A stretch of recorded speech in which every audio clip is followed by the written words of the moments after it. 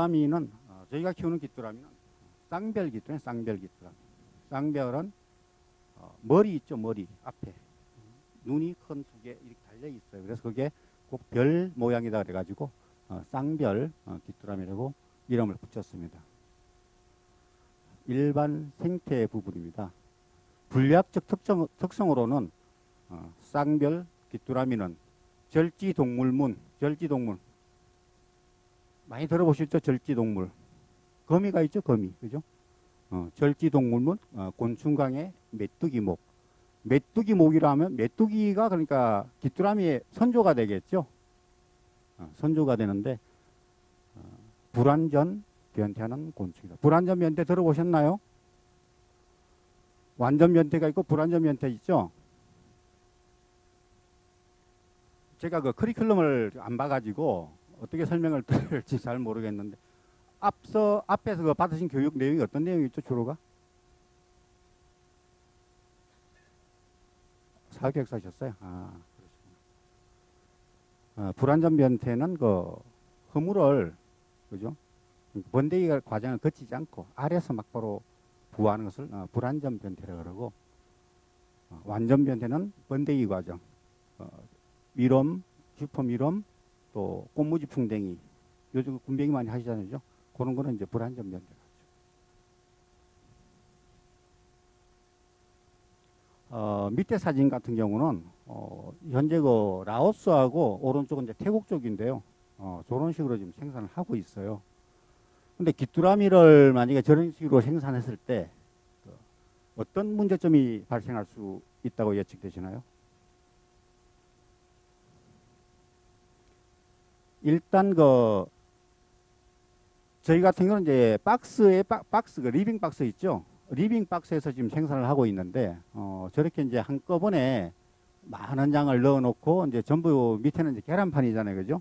계란판을 저기 엎었을 때는 어, 문제가 상당히 많이 발생할 수가 있습니다. 첫 번째는 질병. 만약에 귀뚜라미 질병이 발생했을 때 어, 전체적으로 한꺼번에 다 퍼져버리겠죠. 어, 그렇다면 전부 다 뭐 소각을 시키던 어, 아니면 뭐 응? 죽이든지 해가지고 다시 그 분양을 해서 키워야 되거든요. 그런 문제점이 더 발생할 수 있고 그다음에 이제 성충만 이렇게 곤란해 가지고 이제 뭐 판매를 하든가 아니면 뭐 어, 건조를 시키는 해야 되는데 어 저렇게 됐을 경우는 그 한꺼번에 넓은 면적에 모종을 엄청 많이 집어넣어도 그 편차가 많이 발생을 해요. 어떤 녀석은 뭐 잘 먹은 거는 엄청나게 커버리고 어, 못 먹은 것은 아주 작겠죠. 그러니까 그 일정한 크기의 그런 성충을 수, 어, 수거할 수가 없는 게 아주 큰 단점이 있어요. 근데 이제 워낙 어, 저희처럼 그 시설을 갖추게 되면 비용이 많이 들어가잖아요. 그래서 어, 동남아 쪽에서는 주로 어, 이런 식으로 키우고 있어요. 한국에는 귀뚜라미가 언제 왔냐면 어, 2000, 2000년 초예요. 그러니까 2000년 초. 제가 2000년 4월에 시작을 했는데 그 당시에 그 일본 쪽에서 그 주로 그 물고기 애호가들이 어, 많이 가지고 들어왔어요. 그래서 그게 조금씩 번식이 돼가지고 이제 어, 그 당시에 이제 그 사기 분양이 그래서 일어난 건데 어, 처음에 한56 농가가 시작을 했거든요. 사기 그56 농가가 이제 그 3년 안에 전부 이제 문을 닫아버렸으니까 상당히 큰 손실이 겠죠. 어, 요번에 그 사기 분양하는 스타일을 보니까 그때하고 똑같더라고요. 그걸 그대로 배워가지고 지금 답습을 하고 있는데 어, 많은 분들이 그 귀뚜라미가 알을 많이 놓잖아요. 알. 보통 어, 100에서 한 200개까지 놓는데 어, 그걸 가지고 곱하기를 해버려요. 많이 성충 뭐니 만 마리가 있으면 한 번에 알을 놓으면 200만 마리가 생긴다. 200만 마리 곱하기 15원 뭐 이렇게 해서 내버리거든요. 그럼 비용이 그러면 돈이 엄청나잖아요. 그죠? 사람들이 그렇게 많이 넘어가더라고요. 그리고 이제 가장 큰 문제가 이제 시장이 그렇게 크지가 않았었는데 어, 제가 13년도에 이미 매출이 계속 떨어졌다 그랬잖아요. 그죠? 2억 2천에서 쭉 떨어져 가지고 어, 올해 같은 경우 지금 매, 그 세금 신고한 게 1억 4천이에요. 8천만 원 지금 매출이 떨어졌거든요. 지금 불과 몇년 사이에. 그러면 그만큼 시, 물론 이제 사육 농가도 늘어났지만은 문제는 그 귀뚜라미를 소비시킬 만한 뭐 미럼도 마찬가지예요. 소비시킬 만한 그런 시장이 아직 작다는 거죠. 그래서 식용 쪽에서 너무 이제 부각을 시키다 보니까 사람들이 어 식용 곤충 하면 누구나 다 먹을 수 있는 그런 곤충이다 보니까 수요가 엄청나게 늘 것이다. 예측을 한 거죠. 어, 저도 뭐 거기 일조를 했어요. 어, 왜 제가 그 식용 곤충을 했냐면 있죠. 음, 2000, 아, 제가 이제 그 2005년부터 이제 저희 농장이 매스컴을 쭉 타가지고 아마 2000, 한 13년 정도, 아, 12년 정도 됐겠네요. 그때 그 MBN 청기 누설인가요? 그거하고 채널 A 쪽에 저희 농장이 이제 방송이 됐었어요. 어, 그때 이제 컨셉은 제가 그 깃도라미를 먹어가지고 어, 제가 가지고 있던 간 질환이죠 간 간이 좀 안 좋았었는데 그 간 질환을 어, 치료했다는 그런 내용의 이제 그 기사 그 뭐야 방송이었거든요. 그 당시에 그 방송이 나가고 나서 뭐 거의 한 45일 정도 한 달 보름이죠. 45일 정도 그 5분에 한 골씩 전화가 오는 거예요. 어, 귀뚜라미 먹고 싶다고. 그래서 왜 귀뚜라미 드셔야겠냐 그랬더니 전부 그 한국에 그간 질환 환자 그렇게 많은 줄 몰랐어요. 다 간경화, 간경변, 간암까지도 막 나오더라고요. 그래서 자기는 꼭 진짜 어, 죽기 전에 아니면 더 악화되기 전에 꼭 한번 먹어보고 싶다고 그래가지고 그 리스트를 쭉 적었는데요. 제가 그 방송 나가고 나서 어 그렇게 그 반향이 클 줄 몰랐거든요. 어, 600, 한, 대략 한 650명을 그 리스트를 쭉 제가 다 적어놨어요. 그러면 그 사람들한테 전부 이제 공급을 해줘야 될 거 아니에요. 뭐, 천 마리씩. 근데 도저히 뭐, 몇 개월 가지고는 안 되겠더라고요. 제가 키우는 그 규모에서는. 그래가지고 이제 농진청에다가 급히 이제 이야기를 했죠. 빨리 어, 이 곤충을 좀 식용화 시켜가지고 엄청나게 많은 사람들이 찾고 있으니까 빨리 좀 그주에 대한 연구를 하자. 그래가지고 이제 부랴부랴 시작을 한 거거든요. 이제. 어, 근데 이제 결과는 뭐 상당히 지금 안 좋았잖아요. 그죠? 결과는 상당히 안 좋았고. 어, 주로 이제 그 깃두라면은 그 칸탄친산이라는 성분이 있어요. 칸탄친산. 어, 그게 이제 어, 아미노산의 일종인데 그 홍학 보이시죠? 이 홍학 같은 경우에 이제 그 칸탄친산이나 이런 게 없으면 색깔이 저렇게 아름답게 날 수가 없어요. 그래서 이제 곤충을 많이 먹이고 뭐 물론 미꾸라지나 뭐 일반 새우 이것도 먹이지만은 특히 이제 귀뚜라미를 많이 먹이거든요. 그러면 항상 발색이 좋아요. 그래서 이제 저희가 처음에 이제 그 순천만 습지공원 혹시 들어보셨죠? 아마 한번 다녀오셨을 텐데 거기 홍학이 있습니다. 그래서 제가 이제 그 사료 공장을 하니까 어, 이런 곤충을 넣어가지고 홍학살을 만들어 달라 그래서 이제 만들어서 납품을 했거든요. 어, 근데 또 그마저도 그 대기업의 횡포 있죠.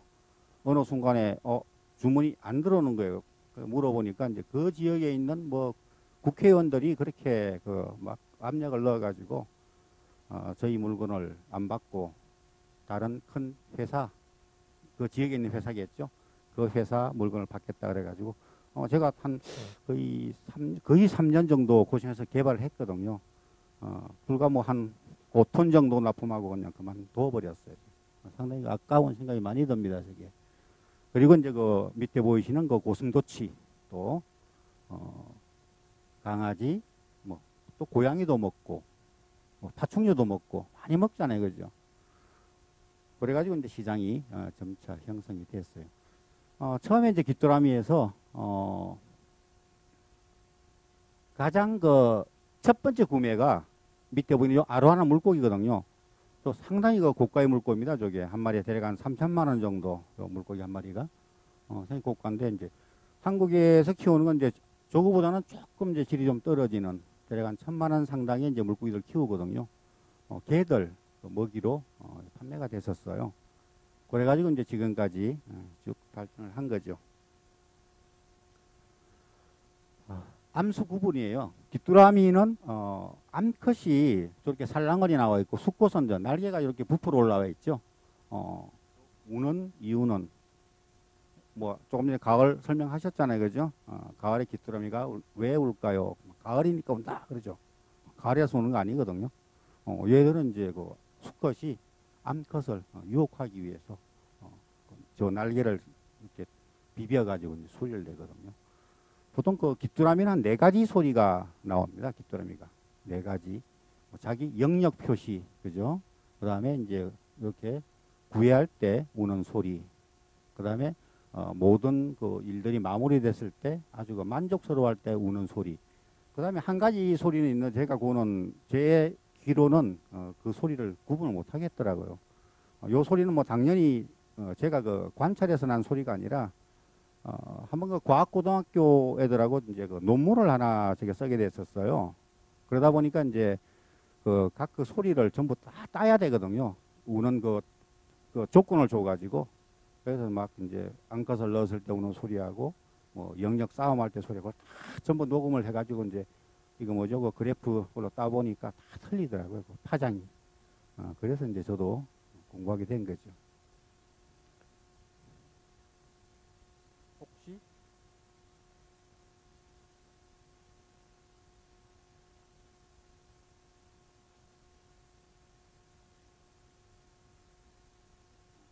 요 컴퓨터도 어, 요 소리를 어, 들을 수가 없네요. 요 소리는 저만 저만 집에서 들을 수 있는 소리 같아요.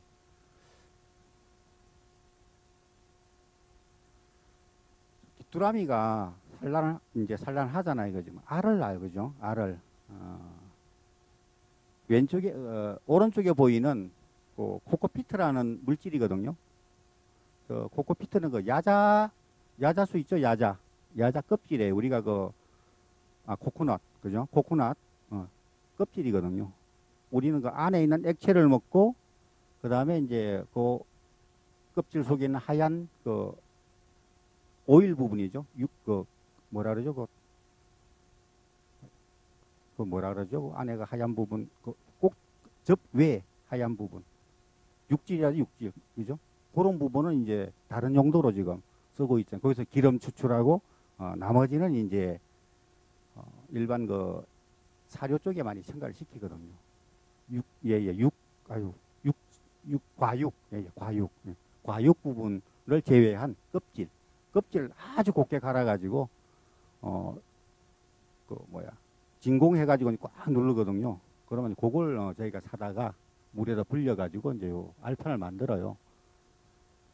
어, 보통 그 얘들이가 산란 욕구라 하죠. 알을 막 놓고 싶을 때는 굳이 뭐 저런 게 없어도 알을 놓고 놓아요. 뭐 일반 뭐 비닐 위에도 놓고 어, 아니면 그냥 뭐 바닥에다 놓고 이렇게 알을 놓는데 보통 그 아까 말씀드렸듯이 한 100에서 한 200개 정도 어, 알을 놓습니다.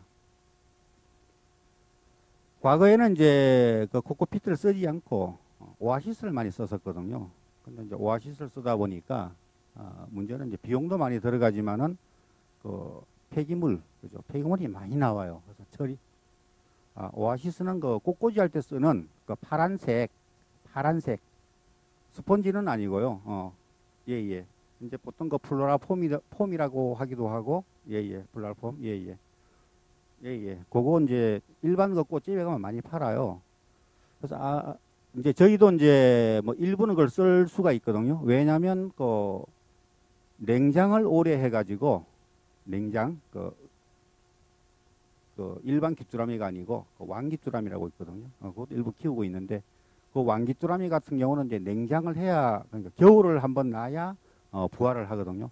그래서 인위적으로 냉장을 하기 위해서 이제 그 쓰는 게 이제 그 오아시스예요. 만약에 어, 일반 그 코코피트에다가 받아가지고 어, 냉장이 들어가면 쪽으로 좀 성걸거든요. 그게 그러다 보니까 어, 부화율이 많이 떨어지더라고요. 그래서 이제 그 왕귀뚜라미 할 때는 저희가 이제 오아시스를 쓰고 그렇지 않을 때는 어, 전부 코코피트를 쓰고 있어요. 어, 얼마 전에 그래가지고 그 오아시스가 갑자기 좀 필요해가지고 그 회사에 전화를 했어요. 오아시스 좀 보내달라고. 그랬더니는 어 우리 그 요번에 그 뭐야 그 사기 분양했던 그 업체죠. 거기에서 이제 그 기술 이전 받아 그 분양을 받았던 사람들이 전부 아마 오아시스를 샀나 봐요. 그래서 그 오아시스 판매하는 회사 회사에 귀뚜라미 전용 오아시스 판매 코너를 만들었더만요. 그래가지고 저희 보고 왜 그 판매에서는 오아시스를 쓰지 않냐고 그렇게 물어보더라고요. 그래서 제 저는 이제 무의식 중에 아유 어, 오아시스는 어, 초짜들이나 쓰는 거지 저희 같은 경우는 안 쓴다 그렇게 한번 얘기를 한 모양이에요. 그래서 아니 뭐 달 왜 다른 점이 있냐고 물어보죠. 근데 많은 분들이 그걸 몰라요. 왜 다른지를. 어, 일단 부화율 부화율이 엄청나게 떨어지거든요. 오아시스 같은 경우는. 어, 일반 코코피트 같은 경우 뭐 100%라고 보시면 됩니다. 어, 근데 코, 어, 오아시스 같은 경우 50% 이하도 그 이상도 안 나와요. 제가 해보니까. 근데 그 이유를 모르고 쓰는 거예요. 어, 왜 그러냐면 알을 저희가 코코피트 봤잖아요, 그죠? 그러면 저 알이 가만히 있을까요, 저대로? 그죠? 알은 자랄 수밖에 없잖아요, 그죠? 근데 오아시스 같은 경우는 상당히 단단한 물질이에요. 젖어 있어도. 근데 거기서 알을 놓게 되면 알이 자라지를 못해요. 또 설령 자라다가도 서로 알끼리 부딪혀가지고 상처를 입어버리거든요. 그러면 상처 입은 알은 부활 안 하잖아요. 근데 코코피트는 어, 알을 한번 받아놓으면 처음에 이렇게 납작했잖아요. 그죠? 이 납작한 게 점차 그 알이 이제 12일 만에 부활을 하는데 26도 그 온도에서 시- 어, 부화하기 직전이 되면 거의 한 두 배 정도로 이렇게 부풀 올라요. 그만큼 알이 자랐다는. 그러니까 충분한 공간을 줘야만 가능한데 어, 저희가 그 왕기 뚜라미를 키울 때 쓰던 그 방식을 한번 어디가 설명을 했었어요. 오아시스, 아, 오아시스에다가 알을 낳는다.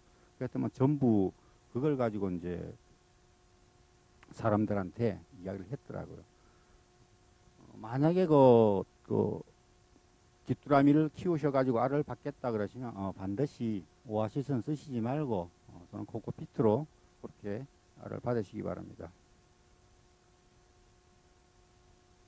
뭐 어느 정도 긴 것도 있고요. 그 뭐 좀 상당히 그 가늘 가늘다고 보시면 돼요. 톱 예예.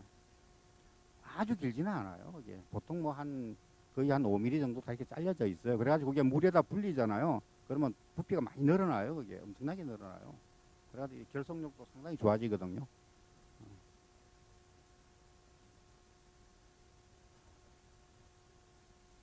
그게 제가 아까 말씀드렸잖아요. 왕기 두라미를 할 때 냉장을 해가지고 부화를 시킬 때는 일반 코코피트로 했을 때는 부화율이 엄청나게 떨어져 가지고 냉, 그 썼던 게 이제 왕기 두라미였어요. 그죠? 왕기 두라미형 오아시스였죠. 그거 이제 그 농진청에 특허를 냈어요. 그거는 농진청에서 그 부화 방법을. 근데 그걸 가지고 이제 사람들이 그, 그 코코피트를 쓰는 거 거의 다 모르는 거죠. 이제. 예, 예. 그러니까 저희 뭐 농장에 와서 봤던 분이나 저희한테 교육을 받았던 분들은 전부 다 이거 이제 다 코코피트를 쓰고 있는데 그렇지 않고 이제 다른 쪽에서 이렇게 그 정보를 어, 받았던 분들은 거의 다 어, 오아시스를 쓰고 계시.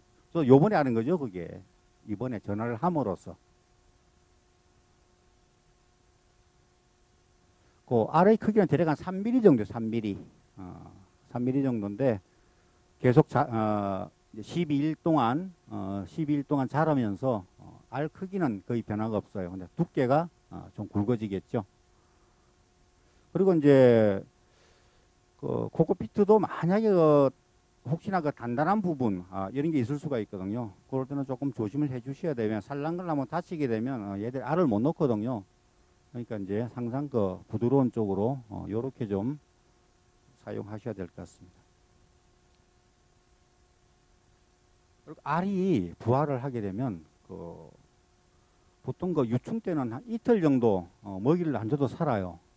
유충 때는 갓 부화했을 때 그 이유가 이제 부화된 유충은 부화 즉시 그 알 껍질 그죠? 껍질과 그 산란판의 수분, 그 코코피트 안에 수분이 항상 있잖아요, 그죠?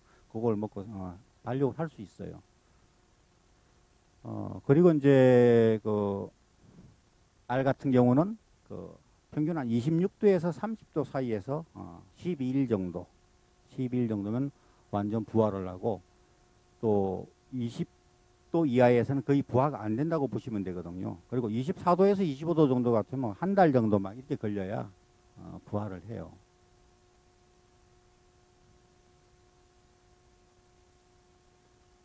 어, 다음 생태입니다. 어, 쌍별기뚜라미는 잡식성이죠, 잡식성. 어, 잡식성은 어, 초식도 좋아하고 육식도 좋아하고 어, 뭐든지 잘 먹는 어, 그런 곤충이에요. 어, 주로 이제 동물성 사료, 그 보통 어분만 있어요. 동물성 사료는 어분. 어, 그다음에 이제 농업 부산물 사료 같은 경우는 뭐 일반 밀기울도 들어갈 수 있고 옥수수, 뭐 껍질도 들어갈 수 있고 뭐 다양하게 쓸 수 있고 어, 생존 기간은 대략 90일 정도. 90일. 어, 얘들이 이제 야외에서 자라게 되면 어, 한 120일까지도 자라요. 다만 이제 사육 되는 데서는 해도 많은 개체가 이렇게 어울리다, 어울려지다 보니까 어, 좀그 수명이 상당히 짧아지는 그런 경향이 있습니다. 어, 그래서 이제 그 충분하게 어, 키우기 위해서는 그러니까 밀도 어, 한 박스당 그 몇 마리 그 밀도가 상당히 중요하거든요. 보통 뭐 한 3천에서 5천 마리 정도 넣어가지고 어, 나중에 이제 그 성충을 골라냈을 때는 한 1,200마리 정도 그렇게 나오면 상당히 잘 키운 어, 그런 어, 결과가 되겠죠. 어, 제가 저거 참고적으로 말씀드리면 처음에 제가 그 분양을 받았을 때 그 당시에 이제 뭐 분양이 아주 간단했어요. 어, living 박스 20개 그죠? 20개. 그때 그 당시에 그분들이 천만 원 요구하더라고요. 그래서 천만 원을 주고 20박스를 샀고 어, 그다음에 그 사료 한번 그 한 라인이죠.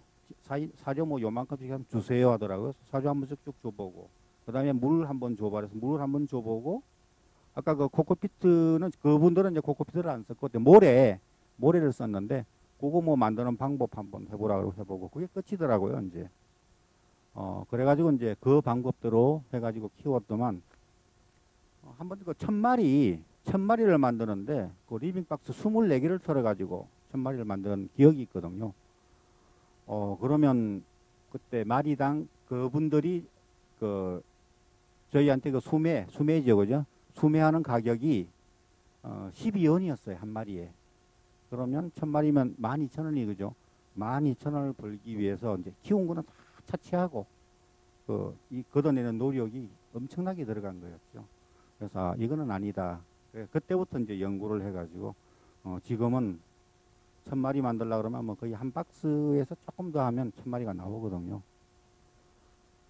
그러니까 그 이제 여러 가지 먹이 조건, 그 온도, 습도 가장 중요한 먹이거든요. 그 다음에 이제 일부 공간, 그게 맞아 떨어지면 충분히 가능한 얘들이 놀 수 있는 공간, 어, 그거는 이따가 그림으로 나옵니다.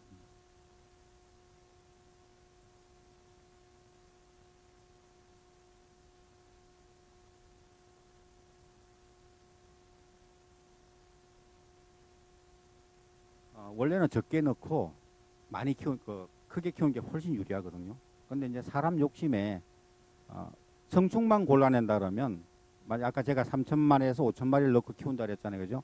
성충만 골라낸다 그러면 저는 한 1,500마리 정도 넣고 예, 한 1,500마리 정도 넣고 그냥 성충으로다 한 700, 한 7, 800마리 정도를 성충으로 골라내고 싶어요. 솔직히. 근데 저희 같은 경우는 어, 판매되는 단위가 아주 어린 것부터 성충까지 아주 다양하거든요.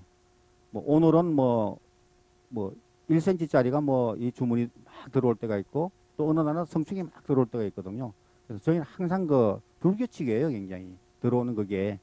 그래서 이제 저희는 그 조금 많이 넣어가지고 한 박스에서 다양하게 이렇게 키우고 있죠.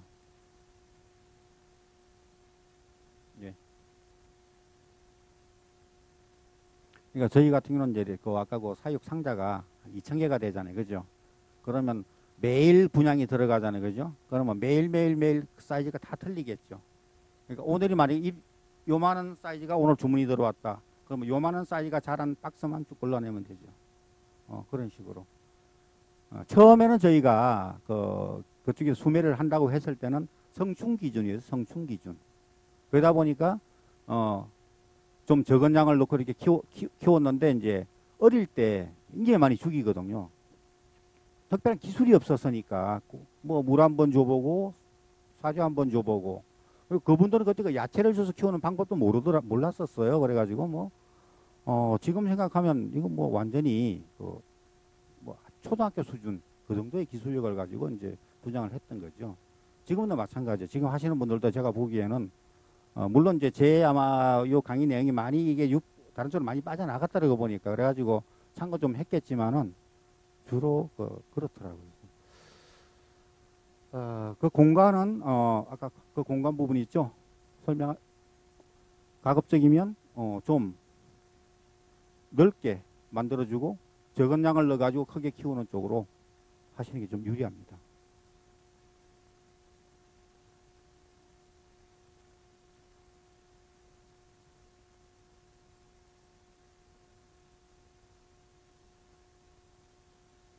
어, 근데 그러니까 이제 현재로서는 지금 그 귀뚜라미 수요가 그 분양 주로 분양 쪽으로 지금 많이 지금 풀리고 있잖아요, 그죠? 그러다 보니까 성충 쪽이 유리하지만은 앞으로 우리가 먹거리 쪽으로 했을 때는 성충보다는 저는 유충 그러니까 종영충이죠. 날개 나오기 전 그때 게 훨씬 맛있고 훨씬 좋습니다. 부드럽고 왜냐하면 벌- 이미 날개가 나와가지고 뒷다리가 빳빳해지잖아요. 그러면 식감 자체도 엄청나게 나쁘거든요. 물론 이제 곱게 갈아가지고 먹으면 되겠지만은 어 그리고 생산성이 많이 떨어져요. 유충 어 종영충이 만약에 한 1,500마리가 나오는데 그걸 마지막에 그 뭐야 성충을 성충으로 오게 되잖아요, 그죠? 그럼 거의 절반 정도 줄어든다고 보면 되거든요. 어, 이 귀뚜라미 그래도 그나마 귀뚜라미가 지금까지 어, 견딜 수 있었던 그 가장 큰 이유가 동종 포식이 동종 포식. 카니발리즘에 많이 들어보셨죠? 카니발리즘 그죠? 그 동종 같은 종끼리 잡아먹는 그런 성질이 엄청나게 강해요. 귀뚜라미는 미럼이나 슈퍼미럼 같은 경우는 아주 응? 그게 적은데 굉장히 강하거든요. 특히 어, 탈피할 때 얘들이 많이 잡아먹혀요. 한번 탈피하면 보통 한 30분 정도 걸리거든요. 그때 그 자기 동료들한테 노출돼 버리면 그대로 잡아먹혀요. 아니요. 먹이보다도 얘들 습성이 그래요. 예, 습성이 그게 동종포식이라고 제가 말씀. 동종포식. 예, 동종포식하는 습성을 가지고 있기 때문에 그렇지 않으면 living 박스 한 마리에다가 한 만 마리 키워가지고 그죠? 만 마리 놓고 만 마리 키워버리면 충분히 가능하잖아요. 공간만 만들어주면 그거 안 되는 이유가 동종포식 때문에 그래요. 밀도 조절도 일부 하지만은 어 그죠? 왜냐하면 다니다가 걸리면 사람도 그렇잖아요. 차- 옆에 닿아버리면 막 짜증스럽고 하면 어떻게 막 싸움 나잖아요, 그죠? 마찬가지 얘들도 어. 과밀도하면 절대 안 되는 거죠. 그러니까 제가 말씀대로 용도별로 유충이 필요한 분들은 좀 많은 양을 넣어서 키우고 성충이 필요한 분- 필요하신 분들은 어, 좀 적을, 적은 양을 넣고 성충을 수거하는 게 월등히 유리하다 그렇게 말씀드릴게요. 그리고 얘들은 이제 그 아열대성이기 때문에 별도의 그 월동을 가지지 않아도 항상 어, 부활을 합니다. 다만 이제 온도가 낮았을 때는 그 거의 번식이나 성장이 엄청 늦어지겠죠. 예, 그 이제 그 임계 온도를 대략 한 25도 정도로 잡았어요. 25도. 어, 25도만 돼도 어, 얘들 벌써 성장이 엄청나게 늦어지거든요. 그래서 저희 농장 같은 경우는 항상 27도에 30도를 유지를 시키고 있어요. 한겨울도 30도, 한여름도 30도. 그럼 한여름에는 어, 항상 그 냉난방에서 그죠? 냉방을 하거든요. 냉방. 그리고 겨울에는 난방을 하고. 어, 요즘 같은 경우는 이제 어, 1도를 더 올렸어요. 지금 31도. 어, 갑자기 가끔 이제 주문이 좀 엉뚱한 데서 많이 들어올 때가 있어요. 뭐 냉동 귀뚜라미 뭐 300kg 이렇게. 그럼 엄청나잖아요. 그죠? 양이. 그러다 보면 항상 이제 만들어 놔도 이제 좀 부족할 때가 많거든요.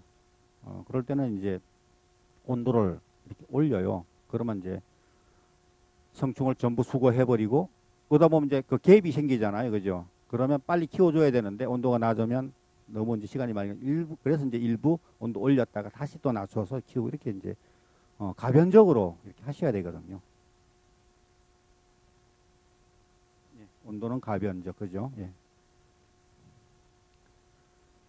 어, 그다음에 유충은 뭐 부화 직후는 아주 하얀색이에요. 하얀색. 어, 그러다가 이제 서서히 어, 색깔이 이제 갈색으로 바뀌기도 하죠. 어, 유충기관에는 주로 이제 뭐 곡물이나 동물성 단백질이 많이 들어간 어, 그런 사료를 줘야 되고 어, 수분이 많은 그 야채나 과일 어, 또 상당히 필요합니다. 특히 이제 저희 같은 경우는 이제 그 과, 어, 과일을 좀 썼었어요 옛날에는 왜냐하면 그 무값이 많이 비쌀 때가 있거든요. 올해 같은 경우도 무가 한 자루 한 자루에 대략 한 2만 6천 원까지 올라갔어요. 그럼 하루에 보통 여섯 자루 정도가 들어가거든요. 그러면 어, 그것도 10 한 몇만 원 되잖아요. 그럴 때는 이제 너무 부담 그게 부담스러우니까 과일 아시죠? 사과 낙과된 사과 과수원에 거기 전화하면 어 20kg에 보통 한 17,000원 개들이 줘요. 20kg에. 그러면 그거 이제 그 저희 그, 이, 그 기계 집어넣으면 그 카팅이 되거든요. 얇게 슬라이스 돼가지고 그럼 그거 이제 이렇게 공급을 하는데 문제는 어, 과일을 많이 쓰게 되면 초파리나 이런 게 많이 발생을 해요. 그래서 안에 환경이 좀 나빠지거든요. 그래서 어, 더군다나 이제 곤충 그 사육장 같은 경우는 파리약도 못 치잖아요. 파리약도 뭐 걔들은 엄청나게 민감하기 때문에 그래서 항상 그 이거 트랩 끈끈이 있죠. 끈끈이 붙여놔요. 중간 중간에다가 그러면 조그만 날파리들이 전부 이제 그 달라붙어서 죽기도 하고 아니면 그 채집등이 있죠. 그거 빗으로 해가지고 빨아들이는 거 그거 해가지고 이제 잡아넣기도 하고 물론 이제 개들이 생긴다고 해서 나쁜 뭐 해야 될 거는 거의 없지만은 일단 사람이 굉장히 귀찮습니다. 막 몸에 붙으면 일하는데 그냥 음, 그 짜증도 나고 이제 힘들죠. 그리고 이제 그 습도 조절이 습도 조절. 어, 유충 때는 습도가 굉장히 그 굉장히 중요합니다. 조금만 그 습도가 적어버리면 금방 말라 죽거든요. 어, 사람 같은 경우는 만약에 어른 같은 경우는 한 몇 시간 이렇게 뭐 물을 안 먹어도 살 수 있잖아요. 하루 정도 뭐 3일 정도 안 먹어도 살잖아요. 그죠? 그 사람도 어린애들 같은 경우는 어, 하루만 만약 안 먹어도 문제가 발생하잖아요. 그죠? 체, 그 체주, 체격이 작기 때문에 이 곤충들도 어릴 때는 어, 많은 그 물이 필요하고 어, 그 다음에 이제 과습 또 과습이 또 문제가 될 수 있는 게 너무 또 습해버리면 어 그 그 지피물이죠. 이제 어, 주로 저희 같은 경우는 이제 신문지를 안 쓰기 때문에 관계가 없는데 보통 그 신문지 그 쓰시는 분들은 너무 과습해버리면 달라붙어 버려 신문지끼리 그럼 공간이 또 줄어들어요. 그런 부분이 또 문제가 되거든요.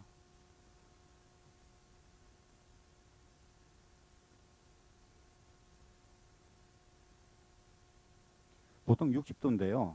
예, 60도인데 뭐 때로는 뭐 그 응애라는 응애라는 이제 병이 한 번씩 발생하거든요. 충이거든요. 어, 그럴 때는 온도를 높이고 습도를 낮춰야 되거든요. 그것도 조절하셔야 되거든요. 그것도 아마 좀 있으면 나올 겁니다. 그 설명을 드릴게요. 어, 그 다음에 이제 그 식성은 그 뭐 유충이나 성충이나 똑같아요. 일반 가축 사료. 어, 과거에는 주로 이제 게 사료 있죠, 게 사료. 그걸 빻아 가지고 어, 이렇게 먹였었어요. 그 다음에 닭 사료, 닭 사료 빻아서도 먹이고, 그 다음에 어, 돼지 사료, 어, 그것도 빻아서 먹이기도 하고 하는데 요즘은 이제 저희 같은 경우는 어, 거의 쓰지 않고 저희는 이제 자체 공장이 있기 때문에 전부 제가 그 포뮬러 짜가지고 배합해서 만들거든요. 어, 가끔 이제 요 말씀 제가 하고 넘어갈게요. 저희 어, 곤충은 가격이 상당히 비쌉니다. 다른데 뭐 한 25원 정도 같으면 저희는 55원을 받거든요. 거의 두 배 이상은 항상 비싸게 받아요. 그 이유가 제가 그 사료를 제조를 한다 그랬죠. 음, 상당히 양질의 사료를 만들어요. 특히 이제 식용으로 되고 나서는 더 신경을 많이 썼거든요. 일단 그 단백질 함유량이 많이 차이가 납니다. 보통 그 일반 사료를 먹었을 때는 대략 한 56% 나오거든요, 귀뚜라미가. 근데 저희 같은 경우는 69% 거의 70% 나와요. 어, 그래가지고 이제 그게 왜 단백질 높으면 왜 좋으냐? 뭐, 뭐 다른 단백, 단백질 높이면 되겠지 그렇잖아요, 그죠? 근데 지금 우리가 나와 있는 물질 중에서 69% 이상 단백질 나올 수 있는 게 뭐가 있을까요, 지금? 69%? 어, 일반 소고기, 닭고기 단백질 그렇게 안 높죠, 그죠? 예. 없어요. 어류도 45% 나오죠, 보통.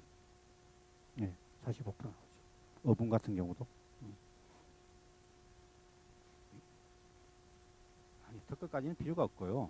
이제 저는 어, 일반 그 번식용 주로 저희 그 탁 고객이 주 고객이 주로 그 파충류 시합이나 파충류 애호가 그죠? 그다음 동물원 이런 쪽이거든요. 어, 그러다 보니까 그 사람들은 번식만 잘하면 되는 거예요. 자기 동물들이. 근데 일반 그 귀뚜라미 만약에 56%짜리 먹었을 때하고 그 70%짜리 먹였을 때하고 유정란이 있죠. 유정란하고 무정란 비율이 엄청나게 차이가 나는 거예요.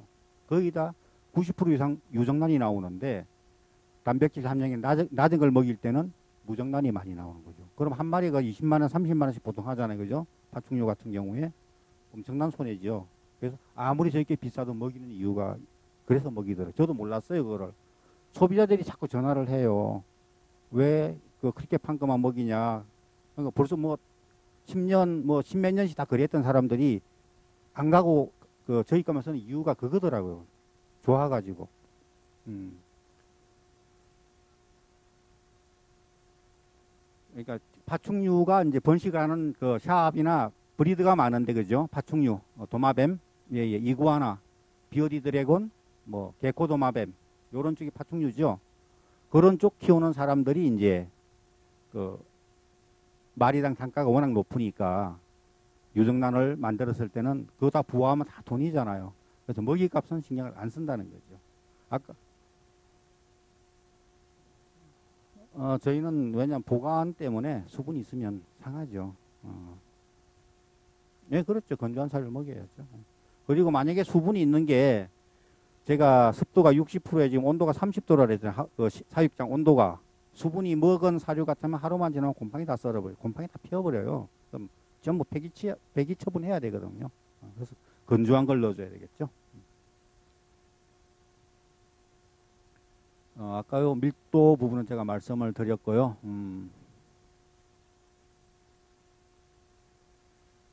그, 요, 요거는 아까 그 동종포식 제가 설명을 드렸죠, 그죠? 어, 아무리 많은 양을 넣어도 어, 최종적으로 그 사육된 성충의 결과는 별 차이가 없었다. 요거는 어, 정확한 그 연구 결과에 의해서 어, 제가 어, 요거는 제가 그 농림산 식품부하고 어, 제가 그 어, 제가 하나 사업을 했는데 어, 깃도라미 사육 방법, 미럼, 미럼 사육 방법에 대한 그 책을 그 제가 쓰다 보니까 그 데이터가 필요하더라고 그래서 그 실험 자료를 가지고 이 자료를 만들었습니다. 보통 얘들 같은 경우는 한 일곱 번 정도 탈피를 해요. 일곱 번. 보통 7령이라 7령. 1령, 0 하나가 죠 1령 그러면 한 번 탈피하고 2령은 두 번 탈피하잖아요. 그죠? 그걸 이제 0으로 표시하거든요. 보통 일곱 번 정도 탈피하게 되면 어, 완전히 성충으로 바뀌는데 어, 한 처음에 분양해 놓고 나서 그러니까 조금씩 집어넣고 나서 한 거의 한 보름 20일 정도는 얘들이 자라는 거야 안 자라는 거야 이렇게 느껴져요. 거의 크는 게 안 보여요. 그런데 이제 그게 어, 한 달 정도가 지나게 되면 어, 오늘 갑자기 큰 것 같아요. 또 한 열흘 정도 지나면 또 확 크고 한 1.5배, 0.5배겠죠. 이렇게 쭉쭉쭉 자라는 게 이제 보입니다. 거의 0.5배 이상이 몸이 커지거든요. 예. 보통 이제 귀뚜라미 저희가 45일을 받잖아요. 그죠? 아래에서 성충까지가 45일 정도 걸리니까 7로 나눠주게 되면 그죠?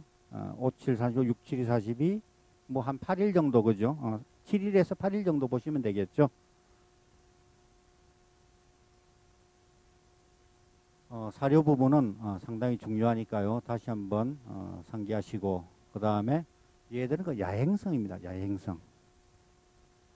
야행성. 어두운 곳을 상당히 좋아하는데 어, 그렇다고 햇빛이 있다고 해서 크게 문제될 건 없더라고요. 다만 어, 햇빛을 자주 보고 했을 때는 가끔 가다가 그 뛰어나와 가지고 돌아다니는 개체가 좀 많아지거든요. 어, 사육됐을 때는 거의 사육 상자 안에서 자랄 때는 크게 뭐 많이 뛰고 하는 게 별로 안 보이는데 어, 만약에 얘들이 그 바닥으로 뛰어나온 게 이제 바닥에서 돌아다니잖아요. 그럴 때는 어, 그 거의 뭐 야생을 찾는다 그럴까요? 갑자기 뭐 1m 이상 막 날아다니고 막 그래요. 또 이게 또 먹이 먹이 부분이 만약에 어 충분한 그 에너지원이 많은 거죠. 그러니까 에너지 에너지원은 탄수화물이 주로 에너지원이 되겠죠. 탄수화물이 상당히 많게 되면 그 얘들이 갑자기 막 그 힘이 세져 가지고 사육 living 박스 안에서 밖으로 막 튀어나와 가지고 날아다녀요. 그래서 그런 부분도 조금은 그 항상 그 뭐야 사료를 사실 때 단백질하고 이제 그 표시 그 있죠 원료 표시가 있거든요. 거기에서 너무 이제 그 탄수화물 쪽이 많은 탄수화물 같은 주로 뭐 쌀, 귀리, 뭐 밀가루 이런 거죠, 그죠? 그게 많은 쪽은 좀 삼가시는 게 좋을 것 같아요. 어, 상당히 지금 식사하시고 상당히 지금 힘든 시간인데 어, 한 커피 한 잔 하시고 그렇게 하죠, 뭐. 예, 잠깐 쉬었다 하시죠. 예.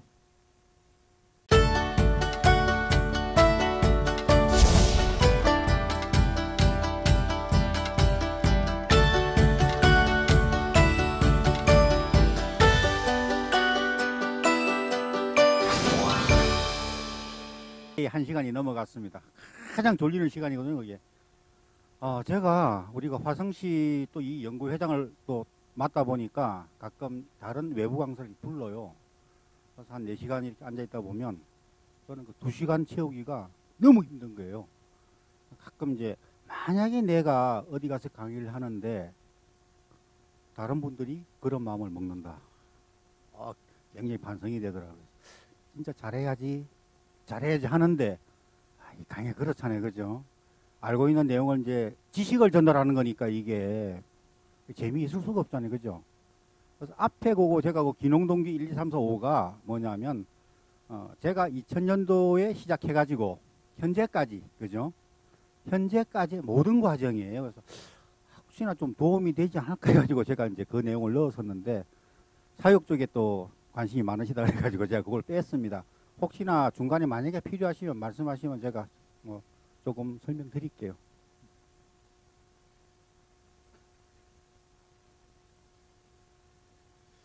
어, 오늘 아침에 이제 그 농촌진흥청이 있죠. 진흥청에서 어제 참 편지가 하나 왔는데 제가 그 이해 그 관계자 회의라 그래가지고 그 진흥청에서 올해 총 그 실전 사업이 있죠. 그 사업을 저희한테 설명하는 그런 이제 어, 한 열 몇 명 이렇게 불러다가 이제 설명을 하고 평가를 받는 그런 자리거든요. 제가 워낙 바빠가지고 그 자리를 못 갔어요. 그랬다면 편지로 그 설문을 보내왔더라고요. 앞으로 그 산업곤충에 대한 그 귀하의 고견을 듣고 싶습니다. 딱 그거 한 줄이에요. 제가 뭐라고 했겠습니까?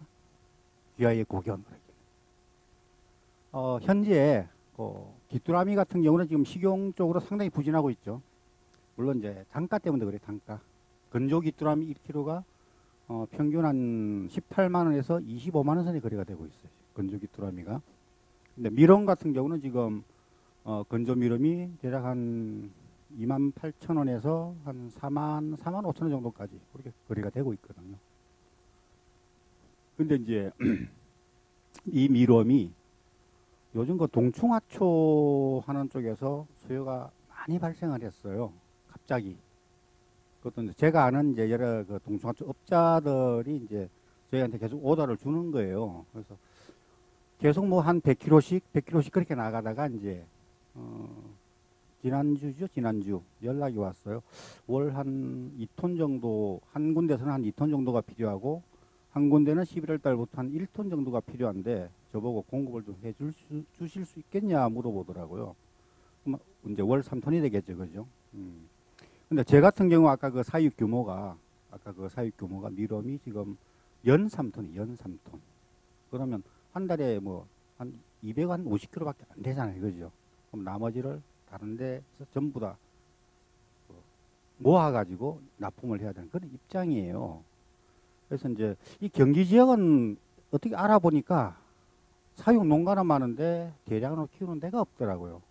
그래서 이제 전라도 저기 어디야 그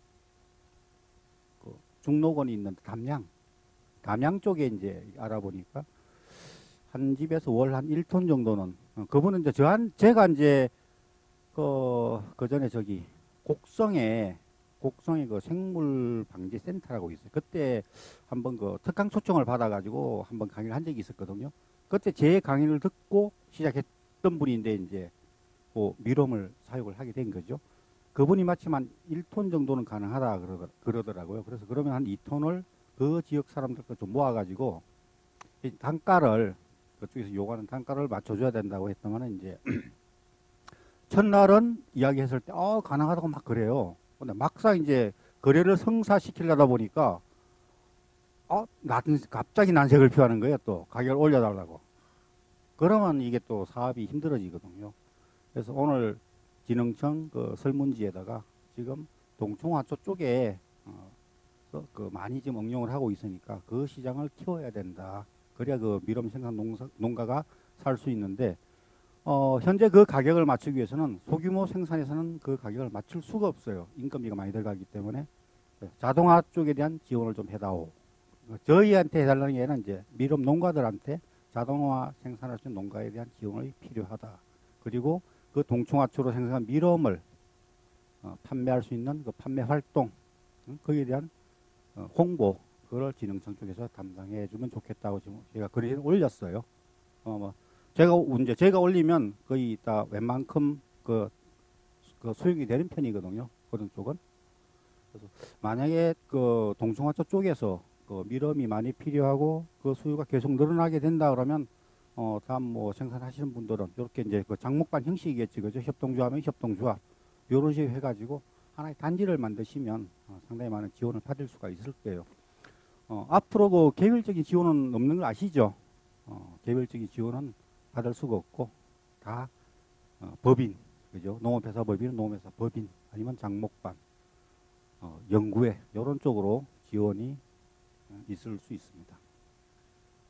어, 그리고 이제 혹시 농업기술센터 쪽하고는 밀접한 관계를 가지고 계신가요? 기술센터? 아, 기술센터를 좀 다니셔야 되는데 그래야 이제 이런 여러 가지 그 지원 사업에 대해서 그쪽에서 도움을 받을 수가 있거든요. 어, 왜냐하면 진흥청에서는 시범 사업이라고 있어요. 해마다 어, 12월 전에 올해 같은 이미 끝났는데 12월 전에 이미 그 농업기술센터에 어, 사업을 전부 내려 보냈어요. 올해 이런 사업이 있으니까 필요한 농가들 있으면 신청을 하세요 하고 어, 올해는 이미 끝났고 이제 내년에 또 시범 사업이 있거든요. 그러면 그 농업기술센터에 있는 그 군중 담당 있죠. 축산까지 보통 그 축산 담당하는 그 담당자한테 어, 내년도 그 진흥청 시범 사업이 어떤 게 나오는지 물어봐가지고 자기네 그 뭐 팀이나 뭐 팀이나 아니면 뭐 아까 말씀드린 거 장목반 그죠 법인 어? 이런 쪽하고 연관이 될 수 있으면 그 사업을 좀 선, 신청해달라. 그러면 이제 진흥 쪽에서는 이제 만약에 화성시가 그 사업이 필요하다 그러면 이제 경기도에다 그 사업을 던져줘요. 그러면 이제 경기도에서는 각 시군으로 내리거든요. 그럼 화성에서 먼저 올렸으면 올린 쪽에다가 일단 먼저 의뢰를 하는 거죠. 이런 사업이 왔는데 혹시 희망자 있느냐 이제 이런 식으로. 그러니까 기술센터 좀 다니셔야 됩니다. 기술센터. 그리고 반드시 이 교육을 그런 사업을 받기 위해서는 어, 연간 그죠? 그 이수 교육 시간이죠. 지금 몇 시간인가? 60시간인가요, 지금? 그 교육을 이수하셔야만 그 사업이 어, 떨어지는 거 알고 계시죠? 어, 교육 안 받으시면 안 됩니다. 반드시 교육 받으셔야 되고.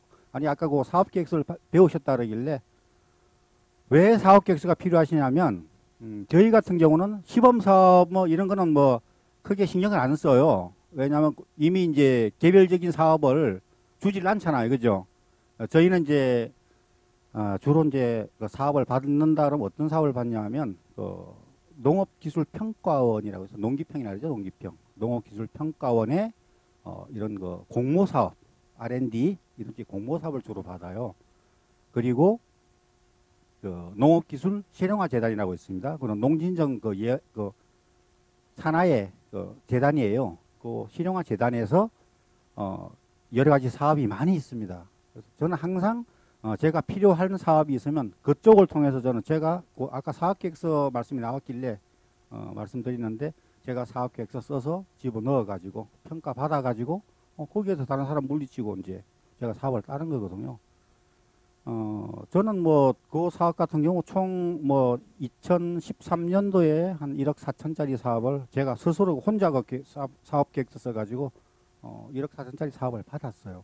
그거는 뭐 갚지 않아도 되는 그런 돈이죠, 그죠? 그런 사업은. 어, 그 다음에 어, 작년이죠. 어, 작년에 아주 올해 이제 사업이 올해 또한 6천만 원짜리 내가 같은 재단에서 두 개를 받았어요. 그리고 이제 시범 사업. 어, 요거는 이제 화성시에 올해 사업이 안 떨어졌어요. 그래서 이제 그 애완동물 그 수제 사료 체험 프로그램 해가지고 그거 사업을 하나 받고 그거는 이제 어, 도비 아 시비 4,500 아 4천 국비 4천에 8천만 원짜리 사업을 받았거든요. 그거 하고는 자기가 사업 계획서를 다 하셔야 됩니다. 그거 공부하셔가지고 한번 기회 되시면 한번 도전하셔요. 저도 사업 계획서 쓸 줄을 몰랐거든요. 이런 교육을 통해서 우연히 그 사업 계획서를 한번 딱 써봤어요. 그거는 이제 우리 경기도에서 하는 교육이거든요.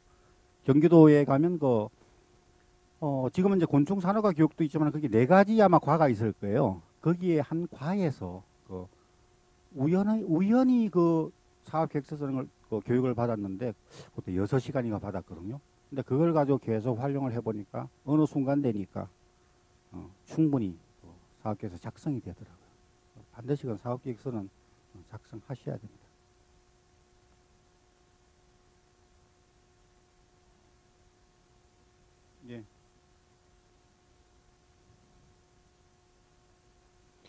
그냥 쉽게 말씀드리면 저희가 120평이잖아요. 그죠? 120평. 근데 저희는 이제 단상을 쓰지 않고 삼상을 쓰고 있어요. 삼상, 전기. 삼상을 쓰는데 어, 단상 같으면 비용이 많이 나와요. 어, 120평을 전부 풀로 가동시키려면 월 한 200 정도 나와요, 전기세가. 그래서 저희 네? 보일러도 가능하죠. 근데 이제 보일러 같으면 아, 농업용 아, 저희는 그 농업용 쪽은 저희가 안 하, 저희는 그 전기로만 쓰니까 그냥 농업용 전기만 쓰는 쓰니까 그 보조 내용은 모르죠, 저희는. 뭐 열풍기 같은 경우는 보조가 나오잖아요. 그죠? 농업용 보일러도 어, 보조는 나오겠네요, 충분히. 그 요거는 지금 축산업의 한 분야가 됐잖아요. 그죠? 어, 축산과에다고는 알아보시면 그 보조 사업이 있을 거예요. 어, 이제 삼상하고 단상이 있는데 단상 같으면 전기가 많이 들어가요, 거기 비용이. 근데 이제 삼상 같으면 어, 한여름 올해 같은 경 많이 더웠죠. 대략 한 월 한 45만 원 정도. 어, 많이 그 엄청나게 줄은 거죠. 근데 이제 그 대신 삼상이 없는 데다가 삼상을 끌게 되면 그 비용이 더 많이 들어가요. 저희 같은 경우는 전봇대를 13개를 세웠거든요. 50km 끌, 끄는데 13개 하니까 처음에 견적을 받아보니까 한전 견적을 받아보는데 7,600이 나오더라고요. 견적이. 그래서 이제 너무 어, 차라리 그럴 바에 그냥 단상을 쓰겠다. 그랬더만은 그 직선거리로 계산해 가지고 340m 직선거리로 해 가지고 하니까 대략 한 2,600에 그 50km 전기를 했거든요. 그러니까 만약에 그 입지 잡으실 때 본인이 쓰는 그 열풍기라든지 뭐 기계들 이- 그 기계들을 삼상으로 삼상 기계가 많을 경우에는 뭐 갑자기 삼상 쪽으로 하시고 그러면 전기세가 엄청나게 줄어드니까 그건 좀 염두에 두셔야 될 겁니다. 아. 여기 우리 보통 이런 거 쓰는 거 있죠. 집에 가정용. 220V 그거는 단상. 220V 단상. 예예. 음. 그 다음에 삼상은 380V예요. 선이 세 가닥이 들어옵니다. 아, 총네 가닥이 들어오는데 한 가닥은 중립선이고 나머지 세 가닥이 이제 380 뭐, 380V가 나오는 거죠. 이해 되셨죠? 어, 죄송합니다. 저는 어, 이게 왜냐면 항상 쓰는 거니까 굉장히 쉬운 걸로 생각을 하고 그냥 설명을 드렸는데 자세하게 또 설명을 어, 못 풀어버리 어, 설명을 안 해드리니까 도 이해를 못 하셨는데 그죠? 그렇다고 제가 삼상 단상을 설명하는데 삼상 혹시 아세요? 그러면 또 무시하는 것 같고 그렇잖아요 그죠? 어. 자 성충은 하루에 어, 0.04g에서 많으면 한 0.1g 정도 그죠? 어, 그렇게 먹습니다. 어, 평균 한 0.1g, 0.1g 정도 음, 사료를 먹고 그 다음에 이제 그 수분이 풍부한 무나, 어, 배추 어, 이런 걸 쓸 수가 있어요. 그리고 암컷이 항상 큰 거 아시죠? 곤충은 어, 암컷이 상당히 큽니다. 수컷보다 왜? 알을 낳아야 되고 그죠? 어, 그때 몸집이 엄청 커요. 수컷은 뭐한 5g, 0.5g 정도 나면 암컷은, 암, 암컷은 한 0.8g 정도. 훨씬 몸무게가 무겁습니다. 그리고 수컷은 어, 산란관이 없고 암컷은 산란관을 가지고 있고 그죠? 0.1g 같으면 자 저희가 그 아까 living 박스가 2,000개라 그랬잖아요, 그죠? 근데 2,000개를 전부 다는 못 돌려요. 왜냐하면 그 세 명이서 2,000개를 다 돌리기 힘들어요. 그래서 보통 한 1,200개에서 한 1,400개 정도를 요 로테이션 시키거든요. 그러면 0.4g 같으면 어느 정도 하루에 사료가 들어갈 것 같아요? 그1,000 1,400박스 기준을 잡아가지고 living 박스를 사료양. 어, 저희 같은 경우 평균 하루에 한 14kg 정도거든요. 14kg. 그러면 하루가 돌아가요. 14kg면 많은 양이 아니죠. 예, 예. 왜냐면 그 한 주먹씩 그 1,400개를 넣어주니까 물론 어린 것들은 조금 먹고 큰 거는 많이 먹잖아요. 그죠? 평균 잡아가지고 많은 양은 아니에요. 14kg 같으면. 어, 뭐 키로당 2,000원 잡아야 그죠? 한 28,000원 정도 사료비가 그거밖에 안 들어가죠. 근데 이제 야채비가 많이 들어간다고 말씀드릴게요. 야채. 그 이제 배추를 좀 조심하셔야 돼요. 배추는. 어, 왜냐하면 제가 그 처음 이제 그 처음 농장에서 한번 대실패를 봤어요. 음, 그 당시에 그 동네 할머니들이 파는 배추 있죠. 시장에 가면 할머니들이 막 팔고 있어요. 배추를. 그거를 하도 싸게 주신다 그래가지고 좀 사가지고 이제 이렇게 먹였거든요. 이제. 그 다음 날 아침에 출근을 하니까 귀뚜라미가 전부 하늘을 보고 다 누워 있는 거예요, 이게. 어. 그래서 저는 그걸 몰랐어요, 그게. 농약. 어. 농약 묻은 배추를 모르고 죽은 거죠.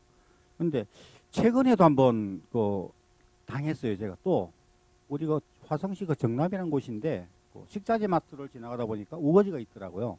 그때 이제 무값이 많이 비싸가지고 와이프한테 어 우거지가 너무 좀 사가지 갈까 좀 사다 달래. 그래서 그 여섯 개를 사가지 갔거든요. 어 근데 그 슈퍼 미럼하고 귀뚜라미가 많이 죽었대요. 말이 확 줄었다는 거예요. 그마저도 또 그 농약 성분이 또 있었던 거죠. 그래서 와이프가 항상 저한테 하는 이야기가 참 인간은 불쌍하다고 왜 이 농약 구덕이 있는 이 우거지를 가지고 만든 그 감자탕 그죠? 그걸 왜 먹는지 돈 주고 사 먹는다고 항상 그런 이야기를 많이 하거든요. 그리고 배추는 어, 상당히 그 조심하셔야 됩니다.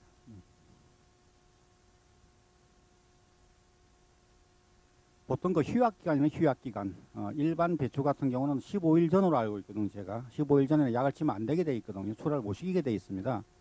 그리고 뭐 그 전에 15일 그 전에 한 거는 전부 다 전량 폐기하는 걸로 알고 있거든요. 농약 성분이 검출되기 때문에 일본 뭐 달걀 달걀 같은 경우도 뭐 어, 평생 먹어도 괜찮을 양의 농약이 나왔다고 그 발 예.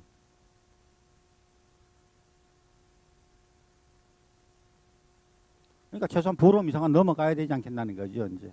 보통 그 시골 할머니들이 가져오는 배추 같은 경우는 거의 뭐 며칠 전에 치고 나서 그냥 뽑아와서 파는가 뭐 그런 것 같아요, 보니까. 시장이나 이제 상해 같은 거 나가잖아요. 그런 거는 전부 잔류 농약 검사를 다 하잖아요, 전부 다. 그러니까 배추를 가급적 쓰지 마시고 아까 말씀드린 무나 과일을 차라리 쓰시라고 제가 말씀드렸죠. 무나 과일. 아, 이파리를 안 쓰잖아요. 뿌리만. 뿌리. 예. 뿌리에는 농약. 그렇죠. 예, 예. 무청, 무청은 안 쓰죠. 그리고 무청 같은 경우는 그 먹을 게 거의 없잖아요. 그죠? 쫄거지 조금 남아 있으니까. 훨씬 좋죠. 그렇죠. 예. 무청이 그 수출도 많이 되고 그렇더라고요. 제품 만들어 가지고 그 무청 가지고 몇 억씩 버는 분도 알고 계- 알고 있거든요. 그분은 전부 전량 수출하더라 수출. 음.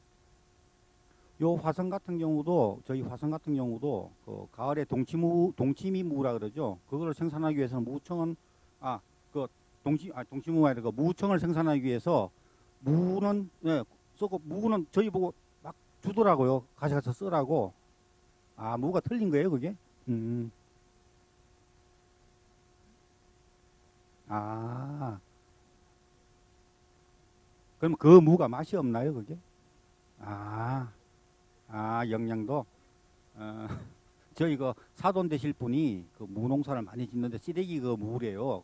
화성 그 팔타이는 곳이거든요. 그렇다고 해마다 이제 그 쓰레기 그거 다 하고 나면 그 저희 아들한테 싣고 가라고 연락이 와요. 그럼 아들이 이제 그뭐한 한 차씩 싣고 오거든요. 그게. 어, 못 먹는 무네요. 그게. 그리고 이제 아 양구무만. 음. 아, 오늘 또 좋은 거 배웠습니다. 그 얘들은 그 한 번 교미를 하면 어 그거 가지고 평생 이제 그 알을 낳아요. 계속 뭐 사람 같은 경우는 그게 안 되지만 어 곤충은 그게 가능하더라고요.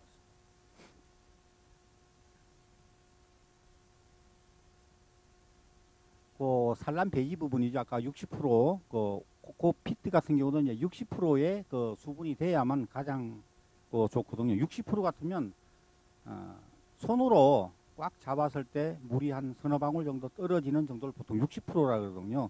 아, 실질적으로는 60%가 더 나옵니다. 그러면 75% 정도 나오는데 그냥, 그냥 설명하기 좋게 어, 그렇게 60%는 물 한 서너 방울 정도 떨어지는 걸로 어, 그렇게 이야기를 하거든요. 어, 요 부분도 아까 그다 설명을 드렸네, 그죠? 근데 이제 그 부하 유충의 분리 부분이 나와요. 보면 부하 유충의 분리, 예, 요 부분이죠. 어, 과거에는 제가 처음 그 농장을 할 때는 어, 이런 거 컴프레서나 이런 걸 쓸 줄을 몰라 가지고 제일 처음에 농장할 때는 어, 처음에 전부 그 알판을 그러니까 성충 어, 유충을 그 분리한 아, 부화를 막 했을 때 그죠 전부 입으로 다 불어 가지고 떨어뜨렸어요 그때는 근데 어, 한참 하고 나면 그 머리가 막 빙빙 돌 정도로 굉장히 힘들었거든요 그러다 보니까 이제 머리를 조금 쓴 게 이제 드라이어 그죠 드라이어 냉풍으로 해가지고 앞을 뾰족하게 만들어서 이제 이렇게 이제 하다가 어느 순간 되니까 이제 음 에어 컴프레서 있죠. 그 수- 어, air gun 그걸로 이제 이렇게 털어내거든요. 이제.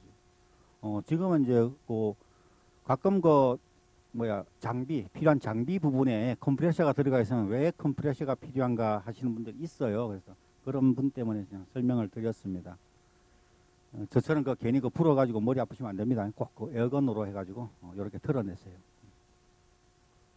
어 그리고 이제 그 유충 같은 경우는 굉장히 약해요. 뭐, 뭐 붓으로 뭐 하는 요 붓으로 요거는 제가 이제 책쓸 때 그냥 붓으로 해가지고 어, 음, 붓으로 이렇게 던 했었는데 실제로 붓으로 털어가지고 힘들어요.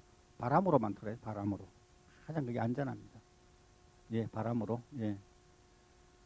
그리고 이제 그 동종 포식 있죠. 예, 그걸 줄이기 위해서는 아까 말씀 그 카니발리즘을 줄이기 위해서는 어, 적당한 균형 잡힌 사료 공급. 그다음에 이제 스트레스 스트레스를 줄여준다는 건 왜냐하면 어, 사람들이 자꾸 왔다 갔다 하고 막 그 공기가 막 달라지잖아요, 그죠? 얘들은 엄청난 스트레스예요, 그게 깜짝깜짝 놀래거든요. 그래서 농장 방문을 제가 자꾸 그 저희가 잘 안 하는 이유가 사람들이 뭐한 20명, 30명 오잖아요. 그러면 일단은 사람들이 쾌적해야 되니까 환기를 먼저 시켜요. 저희 같은 경우 창문 탁 열어서 환기시키고 그 다음에 이제 문 닫아놓고 이제 이렇게 환기되고 나면 사람들 이렇게 들어오시게 하잖아요. 그죠? 근데 사람들은 좋지만 곤충한테는 엄청난 스트레스입니다. 그게. 얘들이 얼마나 예민하냐면요. 밤에 어, 저희가 가끔 그 사육장에 들어갈 일이 생기잖아요. 그 문을 이렇게 집어 딱 열죠. 그 문 여는 소리에 탁 튀어요. 그 조용하던 사육장 안이 시끄러워진다고 막 뛰는 소리가 그렇게 스트레스를 많이 받거든요. 그래서 가급적이면 어, 저희 농장 같은 경우는 그것 때문에 좀 사람들 그 출입을 많이 그 통제를 하고 있어요.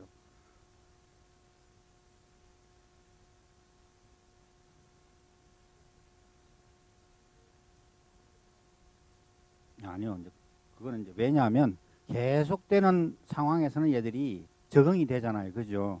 어, 그죠? 근데 갑자기 이제 창문을 열었다 환기시킨다 그러면 온도 변화, 그죠?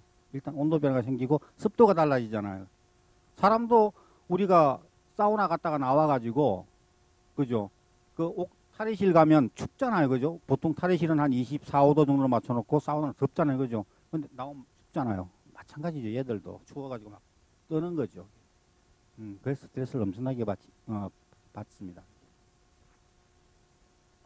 어, 알은 이런 식으로 알을 받고 있어요. 알은 이제 코- 코코피트라 그래가지고 그 아까 말씀드린 그 코코넛 껍질에다 이렇게 봤는데 어, 예.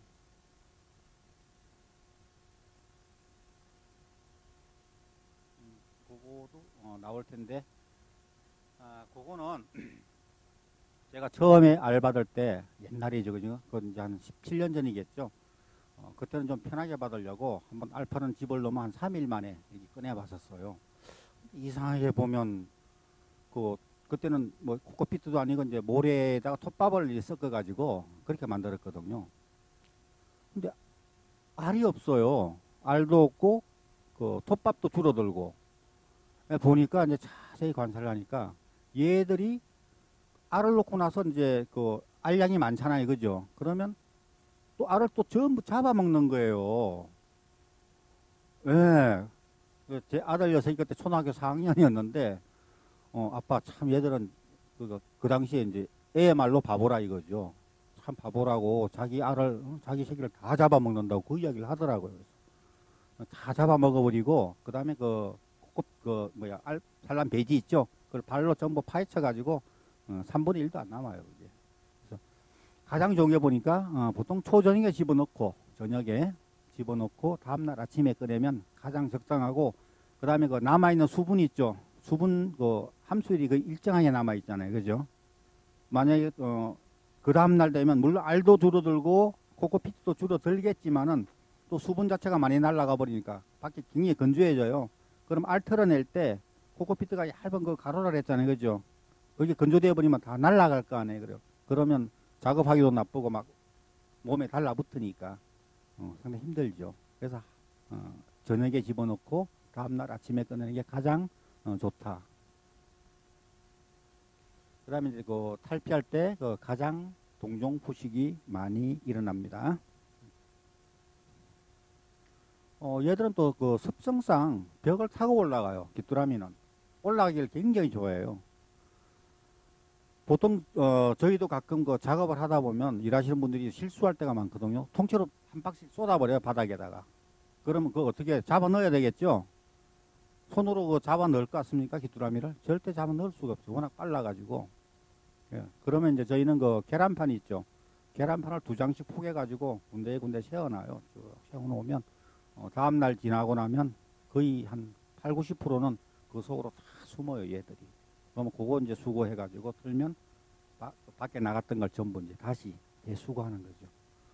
어, 처음에 예, 그거 몰랐을 때는 굉장히 어려웠거든요. 그게 막 쏟아지면 막 빗자루 가지고 막 쏟아 담고 막 그랬었는데 어, 지금은 뭐 쏟아져도 아이고 뭐 내일 되면 다 들어올 텐데 그렇게 지금 하고 있습니다. 그리고 이제 박스 living 박스 어, 저희가 그거를 어, 지금 17년째 쓰고 있어요. 17년째. 굉장히 오래 쓰죠. 어, 그 당시에는 어, 한개한 2,900원 정도 제가 시작할 땐 줬거든요. 2,900원. 근데 지금은 아마 6,500원 정도 할 거예요, 그게. 어, 그때는 2,000개가 하게 되면 뭐 2,900원, 600만 원 채 안 들어간 걸로 알고 있었는데 지금 같으면 2,000개 하게 되면 1,200만 원이 들어가는 거죠. 어, 많이 올라간 거죠. 그래서 계속 그는 이제 재활용을 하는데 문제는 그 스크래치가 생겨요. 위에 부분이. 그래가지고 그 스크래치를 없애기 위해서 이제 여러 가지 방법을 많이 쓴 거죠. 이제 처음에는 그 페인트, 어, 페인트를 칠해가지고 뭐 올라오지 못, 못하게 하다가 또 잘 안 돼. 그게 왜냐면 페인트도 조금만 시간 지나면 한 며칠만 지나면 그거 다 떨어지더라고요.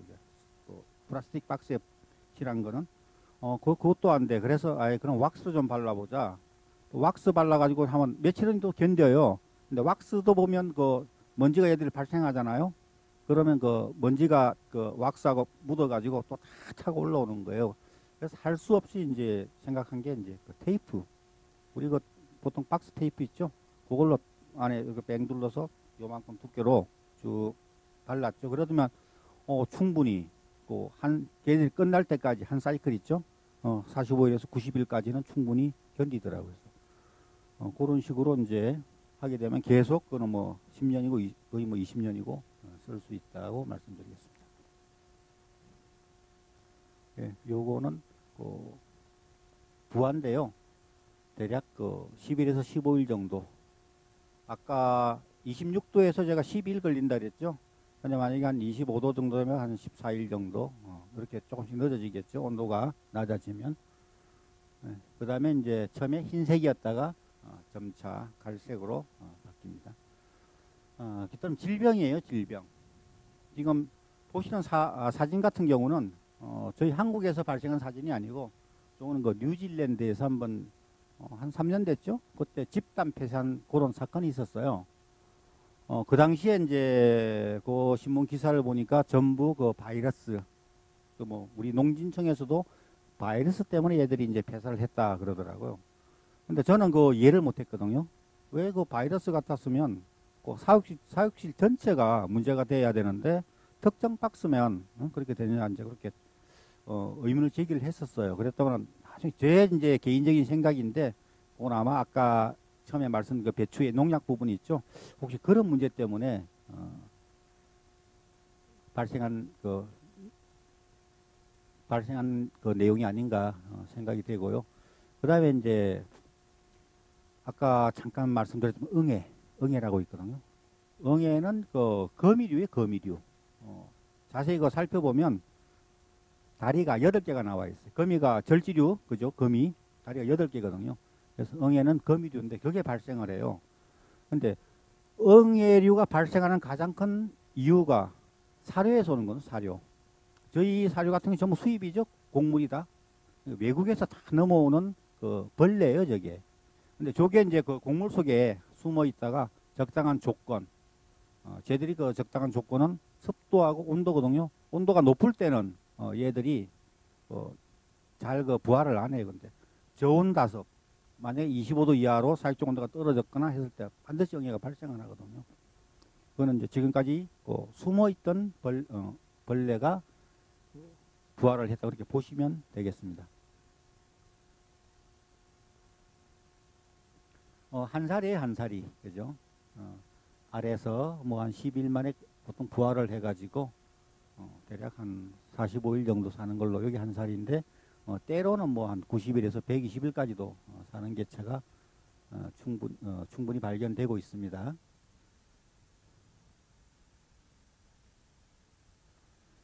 어, 과거에 이런 식으로 키웠어요, 제가. 과거에 귀뚜라미. 어, 근데 이 사진을 보면 여기서 자란 귀뚜라미 이거 잡숴보세요. 그러면 드실 마음이 생기나요? 그죠? 안 생기죠? 그래서 저는 도저히 이 상태로 식용곤충을 키울 수가 없어가지고 이제 그 사육구라 그걸 개발을 했어요. 어. 그래도 하, 저때 키운 저 곤충도 우리 그 옛날 그 뭐야 우리 경기 도지사 하시던 김문수 지사 있죠? 그분이 저희 농장에 이제 그 수행원들 데리고 음, 왔었어요. 근데 어, 저 귀뚜라미 꺼내가지고 한 3일 정도 그때는 절식을 시켰어요. 혹시나 싶어가지고 그래가지고 이제 어, 같이 뭐 대접을 하는데 그냥 손님들한테 먹어보라 할 수가 없잖아요, 그죠? 제가 먼저 먹어보고 괜찮다고 해가지고 이제 먹은 기억이 있거든요. 근데 지금 같으면 못 먹을 것 같아요. 이렇게 키운 거는.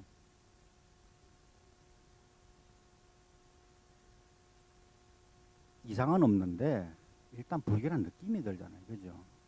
왜냐 우리가 소, 돼지 같은 거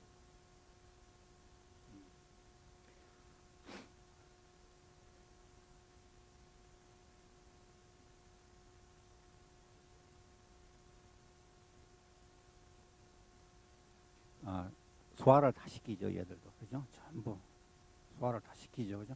그리고 이제 얘들 먹을 때는 이제 저희가 절식이라 그래 가지고 어, 하루 반 굶기죠. 그럼 속에 있는 걸 다 빼버리고. 다만 이제 소, 돼지 같은 경우는 도축을 해 가지고 그죠? 물로 씻고 뭐 이래 가지고 이제 먹으니까 깨끗하고 이제 판단을 하고 이게 이제 공무원들 생각입니다. 그런데 이제 기- 곤충이다 보니까 직접 우리가 먹는다는 게 껍질을 안 벗기고 뭐 물로 다 씻는데도 그래서 얘들은 어, 일반 뭐 흙이단 그런 데서 키우면 안 된다는 그런 규정을 만드는 것 같아요. 원래는 뭐 이렇게 키우나 저렇게 키우나 똑같겠죠. 다 소화가 되는 거니까. 그렇다고 뭐 씻지 않고 먹는 거 아니잖아요. 그죠? 근데 다만 기분이 기분이 굉장히 먹는 사람이 찝찝하죠, 당연히. 예. 제가 그 어제 그 저희 그 곤충 미 저희 이제 그 농장에 요 닭을 한 30마리 이렇게 키우거든요.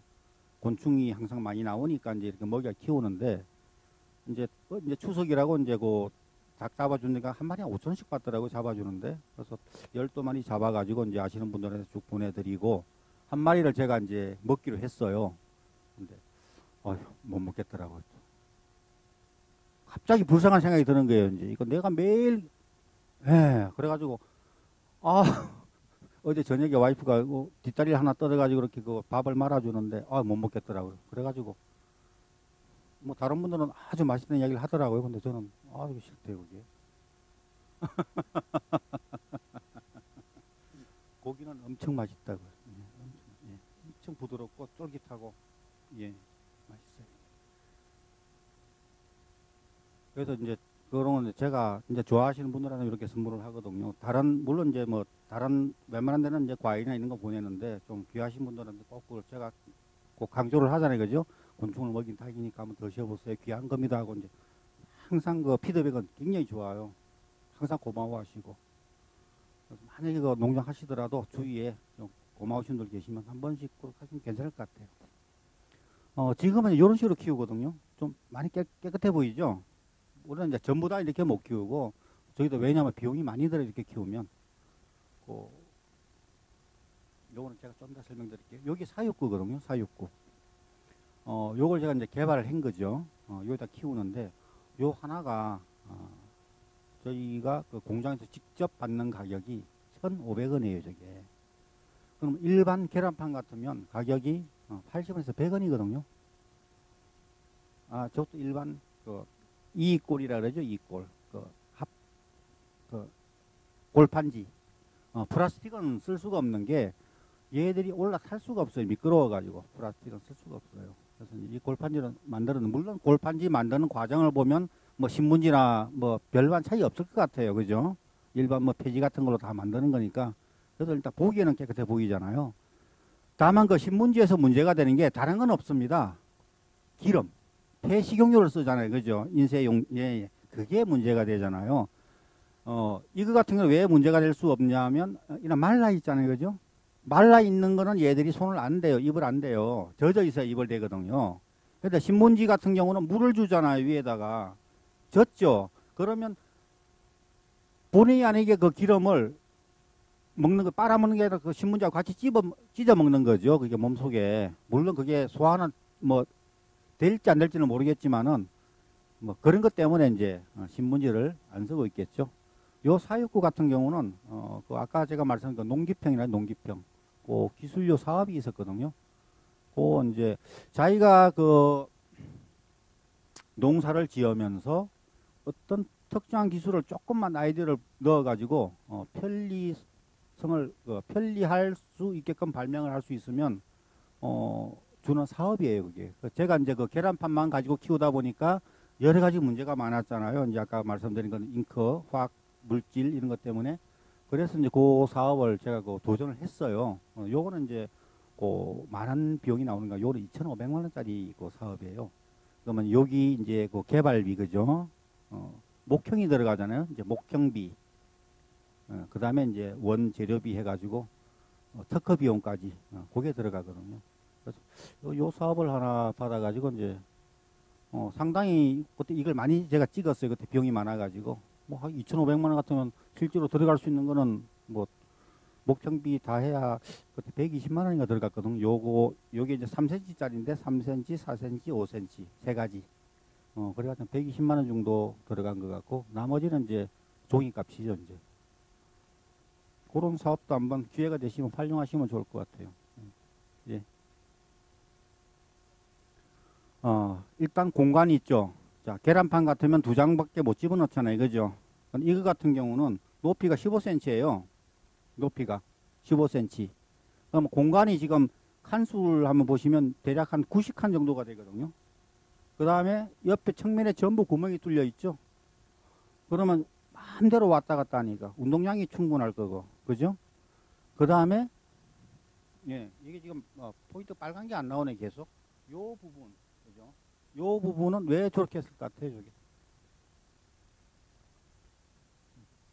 바닥에서 이제 서로 왔다 갔다 하는 거 상당히 많은 이제 그 왔다 갔다 하는 게 굉장히 이제 필요하지만은 제일 문제는 이제 먼지 발생을 줄이기 위해서. 어 얘들은 이제 그 먹은 똥하고 그, 그 사료하고 보통 같이 있잖아요 그죠? 사료 박스 주고 나면 그 사료를 먹고 나면 어 몸에 이제 그 사료도 막 묻히고 다니거든요 얘들이. 그러면 바닥이 항상 지저분해져요 그런 계란반 같으면 그 닿는 면적이 엄청나게 많잖아요 그죠 그러다 보니까 어, 털어낼 때 먼지가 엄청나게 발생을 합니다. 물론 이제 저희 같은 경우는 환기 그 고압 그 팬이 있죠. 그걸 뽑아내거든요. 계속 작업할 때는 그래도 사람이 그 먼지를 먹을 수가 있어요. 그래서 그걸 최소한 줄이기 위해서 여기 뾰족하게 해가지고 바닥 그 닿는 면적을 많이 줄인 거죠. 어 그리고 이제 과거에 그 계란판을 쓸 때는 한 박스 저희가 그 작업을 하는데 깃도라미 이제 그 분리를 해야 될 거 아니에요. 그죠? 계란 신문지하고 이거를 보통 한 25분에서 30분이 걸려요. 한 박스 작업을 하는데. 그런데 주문이 보통 들어오면 뭐 아침에부터 들어온 것도 있지만 오후 2시, 3시에 막 들어오거든요. 그러면 어, 택배 마감 시간이 보통 4시 50분에서 5시예요. 마감 시간이. 그 안에 작업을 다 해가지고 보내야 되는데 계란판을 할 때는 시간이 도저히 안 나와요. 그래가지고 2시 이후에 들은 건 저희가 배, 음, 배송을 못 했었거든요. 근데 요 방법을 쓰고 나니까 2시 이후에 들어와도 얼마든지 작업이 가능해요. 왜냐하면 요거는 한 박스 털어내는데 2분이면 끝나버리거든. 2분. 노동력이 10분의 1로 줄어들잖아요. 요것만 털어서 털면 깃돌명이 다 떨어지니까 굉장히 편한 거죠. 그렇죠. 예. 그렇죠. 예, 예. 그리고 밑에 몇 마리 있는 거는 다시 계란판 한 장만 올려버리면 아까 얘들 타고 올라간다 그랬죠. 깃돌아미는 타는 습성이 있다 그랬죠. 전부 계란판으로 다 붙어버려요. 이제. 그러니까 신문지 골라내는 그 수고가 하나도 안 들어가죠. 먼지 안 먹죠. 어, 그래서 저도 이거 이 사업을 물론 받아서 했지만은 어, 상당히 유용하다. 그리고 이제 성충 부분이에요. 성충을 만약에 일반 계란판에 넣었을 때는 저희가 알을 세 번 이상을 못 받았어요. 왜냐하면 그 성충 때는 열을 많이 깃털만 굉장히 열이 많은 곤충 아시죠? 굉장히 열이 많습니다. 음. 계란판 그 얕, 좁은 공간에서 살 때는 열이 많이 발생하니까 그 밑에 사료하고 똥하고 분변하고 해가지고 가스가 발생을 하거든요. 그런데 이제 저걸로 때 가스가 발생을 안 돼요. 그러면 그 성충 생존 기간이 엄청나게 길어지는 길어지는 거죠. 그러니까 저희가 이틀에 한 번씩 그 계란판을 집어넣는데 어 일곱 번까지 알을 받습니다. 일곱 번. 그러니까 한 두 배 이상 길어진 거죠. 생존율이. 과거에는 만약에 알 한 번 받을 때 100개 막 이렇게 받았던 게 어, 지금 같은 경우는 한 40, 뭐 많이 받아야 한 45개 정도 어, 충분히 돌아가요. 그래도. 어, 요거는 이제 그 지금 보세요. 그 좁은 공, 그 요게 3cm에 3cm짜리거든요. 그죠? 많이 돌아다니죠. 귀뚜라미들이 막 저 좁은 공간에 마음대로 왔다 갔다 다닐 수 있잖아요. 그죠? 어.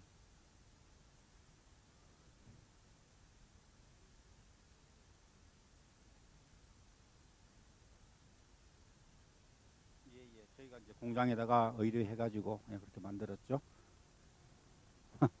아니요, 저희는 저 판매를 못 하고 있어요. 왜냐하면 일반 농가에서는 쓸 수가 없어요. 가격 때문에. 예, 가격 때문에. 제가 1,500원을 했잖아요. 그죠? 어, 보통 계란반 석장 쓰는 집 같으면 300원이면 되는데 1,500원. 요게 네 번 정도 활용을 하거든요. 그래도 어, 단가가 많이 들어가는 편이에요. 과거처럼 막 그냥 그 기존에 한 마리 100원 막 일 때 같으면 뭐 어느 쓸 수가 있는데 지금은 뭐 일반 농가 보통 싸게 파는 집은 아마 한 25원까지 아마 다운된 걸로 알고 있거든요. 그러면 좀 한 박스에서 어 800마리 정도 나온다고 봤을 때 대략 한 그죠? 800마리 30원 잡아도 어 2만 4천 원이잖아요. 그죠? 2만 4천 원에 그 사육과 하나가 1,500원 들어가 버리면 좀 부담스럽죠. 사육권은 처음 보시죠 오늘? 제가 설명을 어, 드렸고 주로 용도 귀뚜라미 용도 그죠? 어, 파충류나 물고기, 새, 그다음에 뭐 원숭이도 먹기도 하고 어, 요즘 황새들도 저희 귀뚜라미 많이 먹였어요. 황새들. 그 황새 보건센터 있죠 우리나라에. 어, 그쪽에도 많이 이제 귀뚜라미 나가가지고 그 황새가 복원됐고 또 뭐 고슴도치, 어, 고슴도치도 어, 옛날에 엄청나게 먹었는데 지금은 이제 주로 인공사료로 많이 키우고 있죠. 그렇죠. 아이고 사람 하루에 저거 20마리씩 먹으라 그러면 50원 잡고 20마리면 1000원씩이죠. 그죠? 근데 아침 점심 저녁으로 먹으려 그러면 3000원씩인데 그죠? 부담스럽죠. 근데 아, 돼지요. 물고기 사도 되는데 단가 때문에요. 단가. 예, 예. 단가 때문에. 그래서 이제 저희가 그 항상 그 요구하는 게 많이 쓰죠. 어, 지금 그 갈색 거절이 있죠. 고소에. 어, 그거는 지금 많은 그 양식장에서 지금 쓰고 있어요. 그러니까 자기네들이 돈 주고는 못 사고 이제 그 농민들이 테스트 좀 해달라고 보내준 걸 쓰고 있는데 어 넙지 같은 경우는 그 정체율이 한30% 정도 그다음 질병 감소율이 상당히 높다고 나오거든요. 다만 단가가 높으니까 좀못 쓰고 있어요. 그래서 앞으로는 아마 그 동해등해라고 혹시 들어보셨나요? 환경정화곤 중에서 동해등해.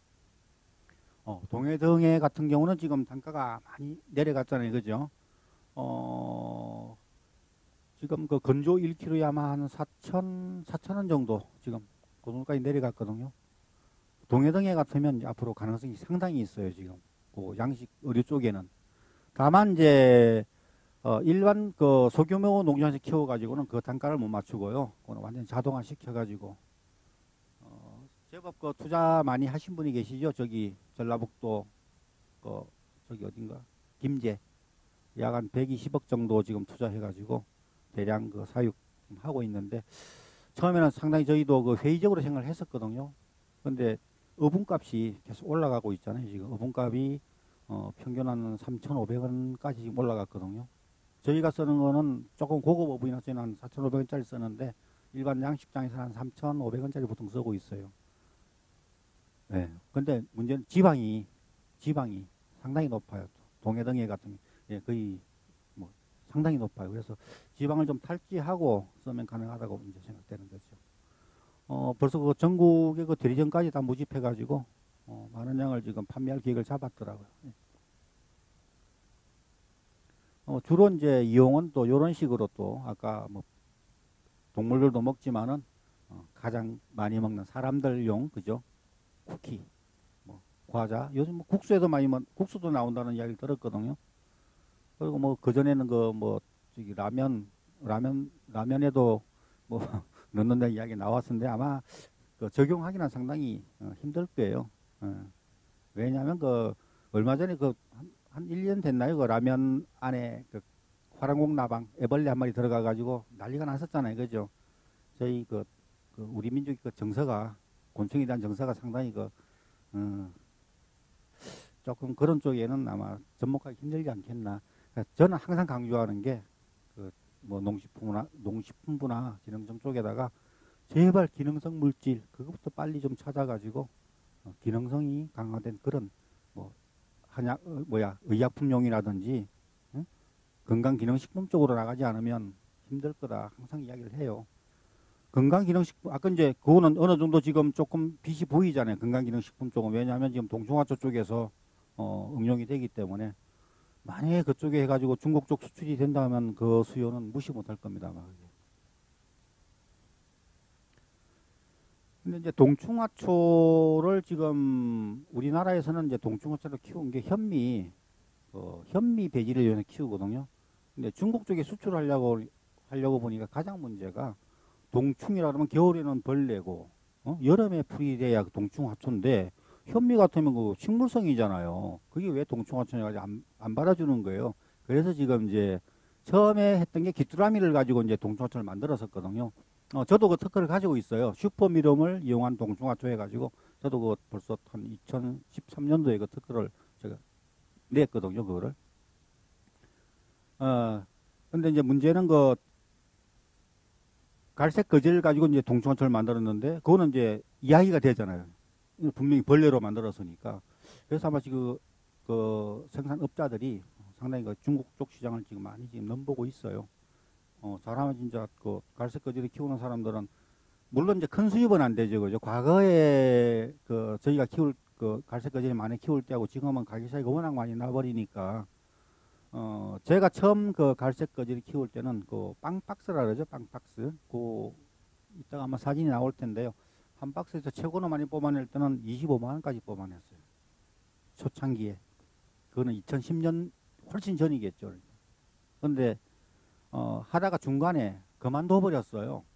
왜냐면 갈색 거지는 한 번 사가져 가면 사람들이 재구매가 일어나질 않는 거예요.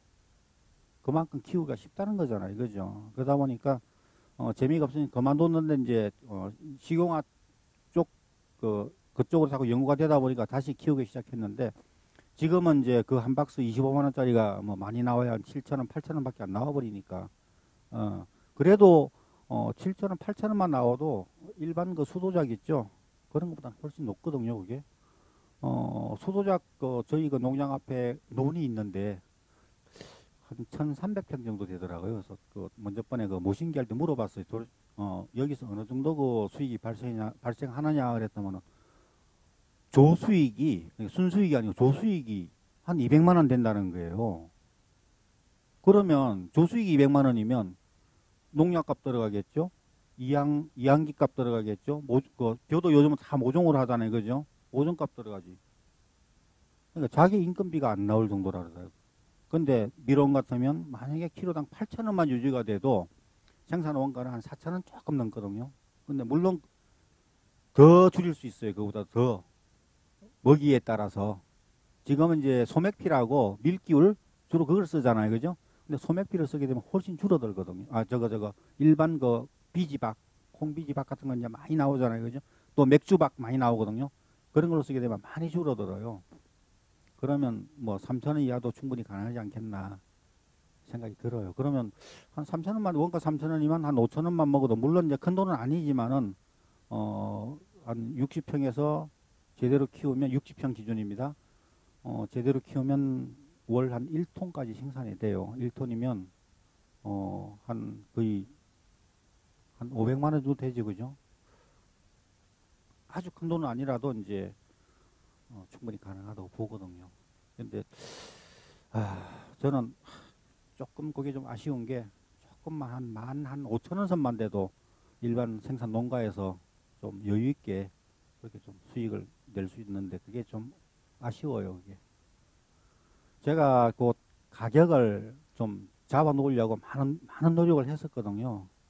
근데 이제 그 CJ측하고 이제 그 처음에 일이 진행될 때 그쪽에서 워낙 그 가격을 내리는 바람에 지금 현재 그 가격이 형성돼 버린 거예요. 안 그랬으면 지금도 한 2만 5천 원은 받을 거예요, 그게.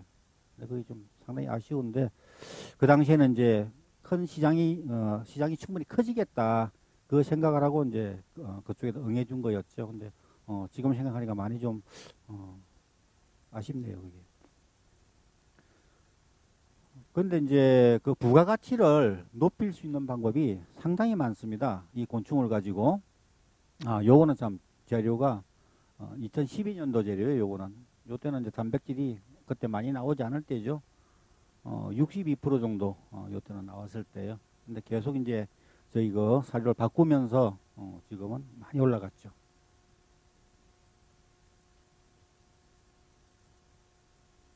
알바끼는 아까 제가 설명을 드렸죠. 예, 유충은 어, 마리수는 대략 한 50리터 통에다가 한 2천에서 3천 마리 정도 기준으로 어, 사육하면 될 것 같고 예, 수분도 60% 정도면 가장 적당하고 예, 응애 아까 말씀드렸고요. 음, 처음에 응애가 발생했을 때 아, 제가 참 황당했어요. 그 처음에 이제 그 저희한테 그 분양했던 업체에다가 전화를 해서 응애가 발생했는데 어떻게 하면 좋겠습니까? 그랬더니 전부 소각시키래 소각. 2천 박스를 어디다 소각을 시킵니까? 그거를. 그래가지고 어, 엄청나게 고민을 했거든요. 근데 유심히 관찰을 해보니까 햇볕이 막 이렇게 쬐있는 데다가 놔둬봤거든요. 그랬더니 응애가 싹 그 숨어버리더라고요. 전부 다. 그래서 아 그때 이제 그걸 느낀 건데 항상 그 사료를 먹는 그 그러니까 이 사료 속에는 응애가 있는데 우리가 보지 못할 뿐이다. 근데 그게 이제 어, 적당한 조건, 얘들이 살기 좋은 그런 조건이 됐을 때는 어, 항상 부화를 할수 있구나. 그래서 응애를 막기 위해서는 항상 건조하게 어, 온도를 25도 이하 저온으로 어, 떨어뜨리지, 떨어뜨리지만 않으면 어, 가능하다고 말씀드릴게요. 예, 예. 그게 그 곤충이 가지고 있는 장점 같아요 보니까 예. 어 일반 그 생굴보다도 아마 높다고 이야기를 하거든요. 아연 같으면 그 우리 그 가장 그, 그 필수 불가결한 그런 무기물이잖아요, 그죠? 어 특히 그 눈떨림 심한, 심한 분들 보면 몸에 그 아연, 이 부족하다는 그런 뜻이거든요, 그게. 어 옛날 그 카사노바가 가장 많이 먹었던 게 생굴이에요, 생굴. 어, 그만 생굴보다 훨씬 높으니까 어, 상당히 좋습니다, 이건. 예, 통은 뭐 이렇게 보통 아까 50리터짜리가 가장 좋은데 미국 같은 경우는 교통 저희 그 50리터보다 훨씬 큰 150리터짜리였어요. 어, 그래가지고 이제 그쪽은 좀 편하게 키우거든요. 저희보다는 어, 사료도 한 번 집어넣으면 거의 뭐 다 클 때까지 한 번에 이제 끝내버리는데 매일 안 주고 근데 이제 그 작업성이 상당히 떨어지더라고요. 보통 두 명, 이 명 일개조가 돼가지고 어, 작업을 해야 되고 혼자서는 작업이 안 되더라고요. 저희 같은 경우는 이제 좀 큰 것도 해봤는데 뭐 생산량 대비 크게 그, 효, 그 효율이 가성비 그죠? 가성비가 그렇게 높은 것 같지는 않더라고요. 예, 성충은 예, 대략 그 알을 놓고 나면 한 22에서 한 30일 정도 더 살다가 이제 죽죠. 그러니까 저희가 이제 성충을 그 수거할 때는 어, 알한 두 번 정도 놓고 난 다음 거 그런 건 이제 수거를 하죠. 또 너무 알 다그뺀 거면 단백질도 많이 떨어질 거 아니에요, 그죠? 유충이 그 알이 다 빠져나가 버리니까. 어, 그 다음에 이제 얘들은 그 불포화 지방산이 상당히 많아요. 어, 그러, 그러다 보니까 이제 산패 위험이 상당히 크겠죠. 어, 산패. 어, 근데 이제 귀뚜라미 같은 경우는 어, 일반 상온에서 6개월간 놔둬도 거의 산패가 또 일어나지 않는 어, 그런 또 연구 결과가 나왔어요. 그거는 그 한국 식품연구원이라고 있습니다. 어, 거기에서 어, 저희하고 이제 R&D를 하면서 나온 결과거든요. 그다음에 건조 방법은 뭐 열풍 건조나 동결 건조, 또 원적외선, 중적외선 건조 어, 방법이 있어요. 저희는 이제 귀뚜라미 같은 경우는 어, 주로 열풍 건조로 하고 있고 미론 같은 경우는 어, 동, 그 중적외선 건조 방법을 어, 쓰고 있죠. 예, 요거는 이제 그 사료 배합비료고 요거는 한번 나중에 그 참고하시면 어, 될것 같아요. 예. 사육 적합 온도는 예, 25도에서 30도 정도. 그다음에 이제 고온 40도 이상 되면 어, 상당히 힘들겠죠. 사람도 어, 엄청나게 힘드니까 곤충도 마찬가지로 어, 상당히 어, 힘듭니다. 아까 다 설명 예, 드린 내용이네요. 예. 음, 사육 도구는 요요 living 박스 50리터짜리. 그 저기 지금 노랗게 그 테 둘러져 있죠? 저게 이제 그 올라오지 말라고 제가 테이프로 어, 발라놓은 어, 사육장은 요런 식으로 지금 요건 제가 다음 시간에 한번 설명을 드리겠습니다. 아, 상당히 더운데요. 찬물 한 그릇 하시고 또 다음 시간에 뵙겠습니다. 예. Thank you.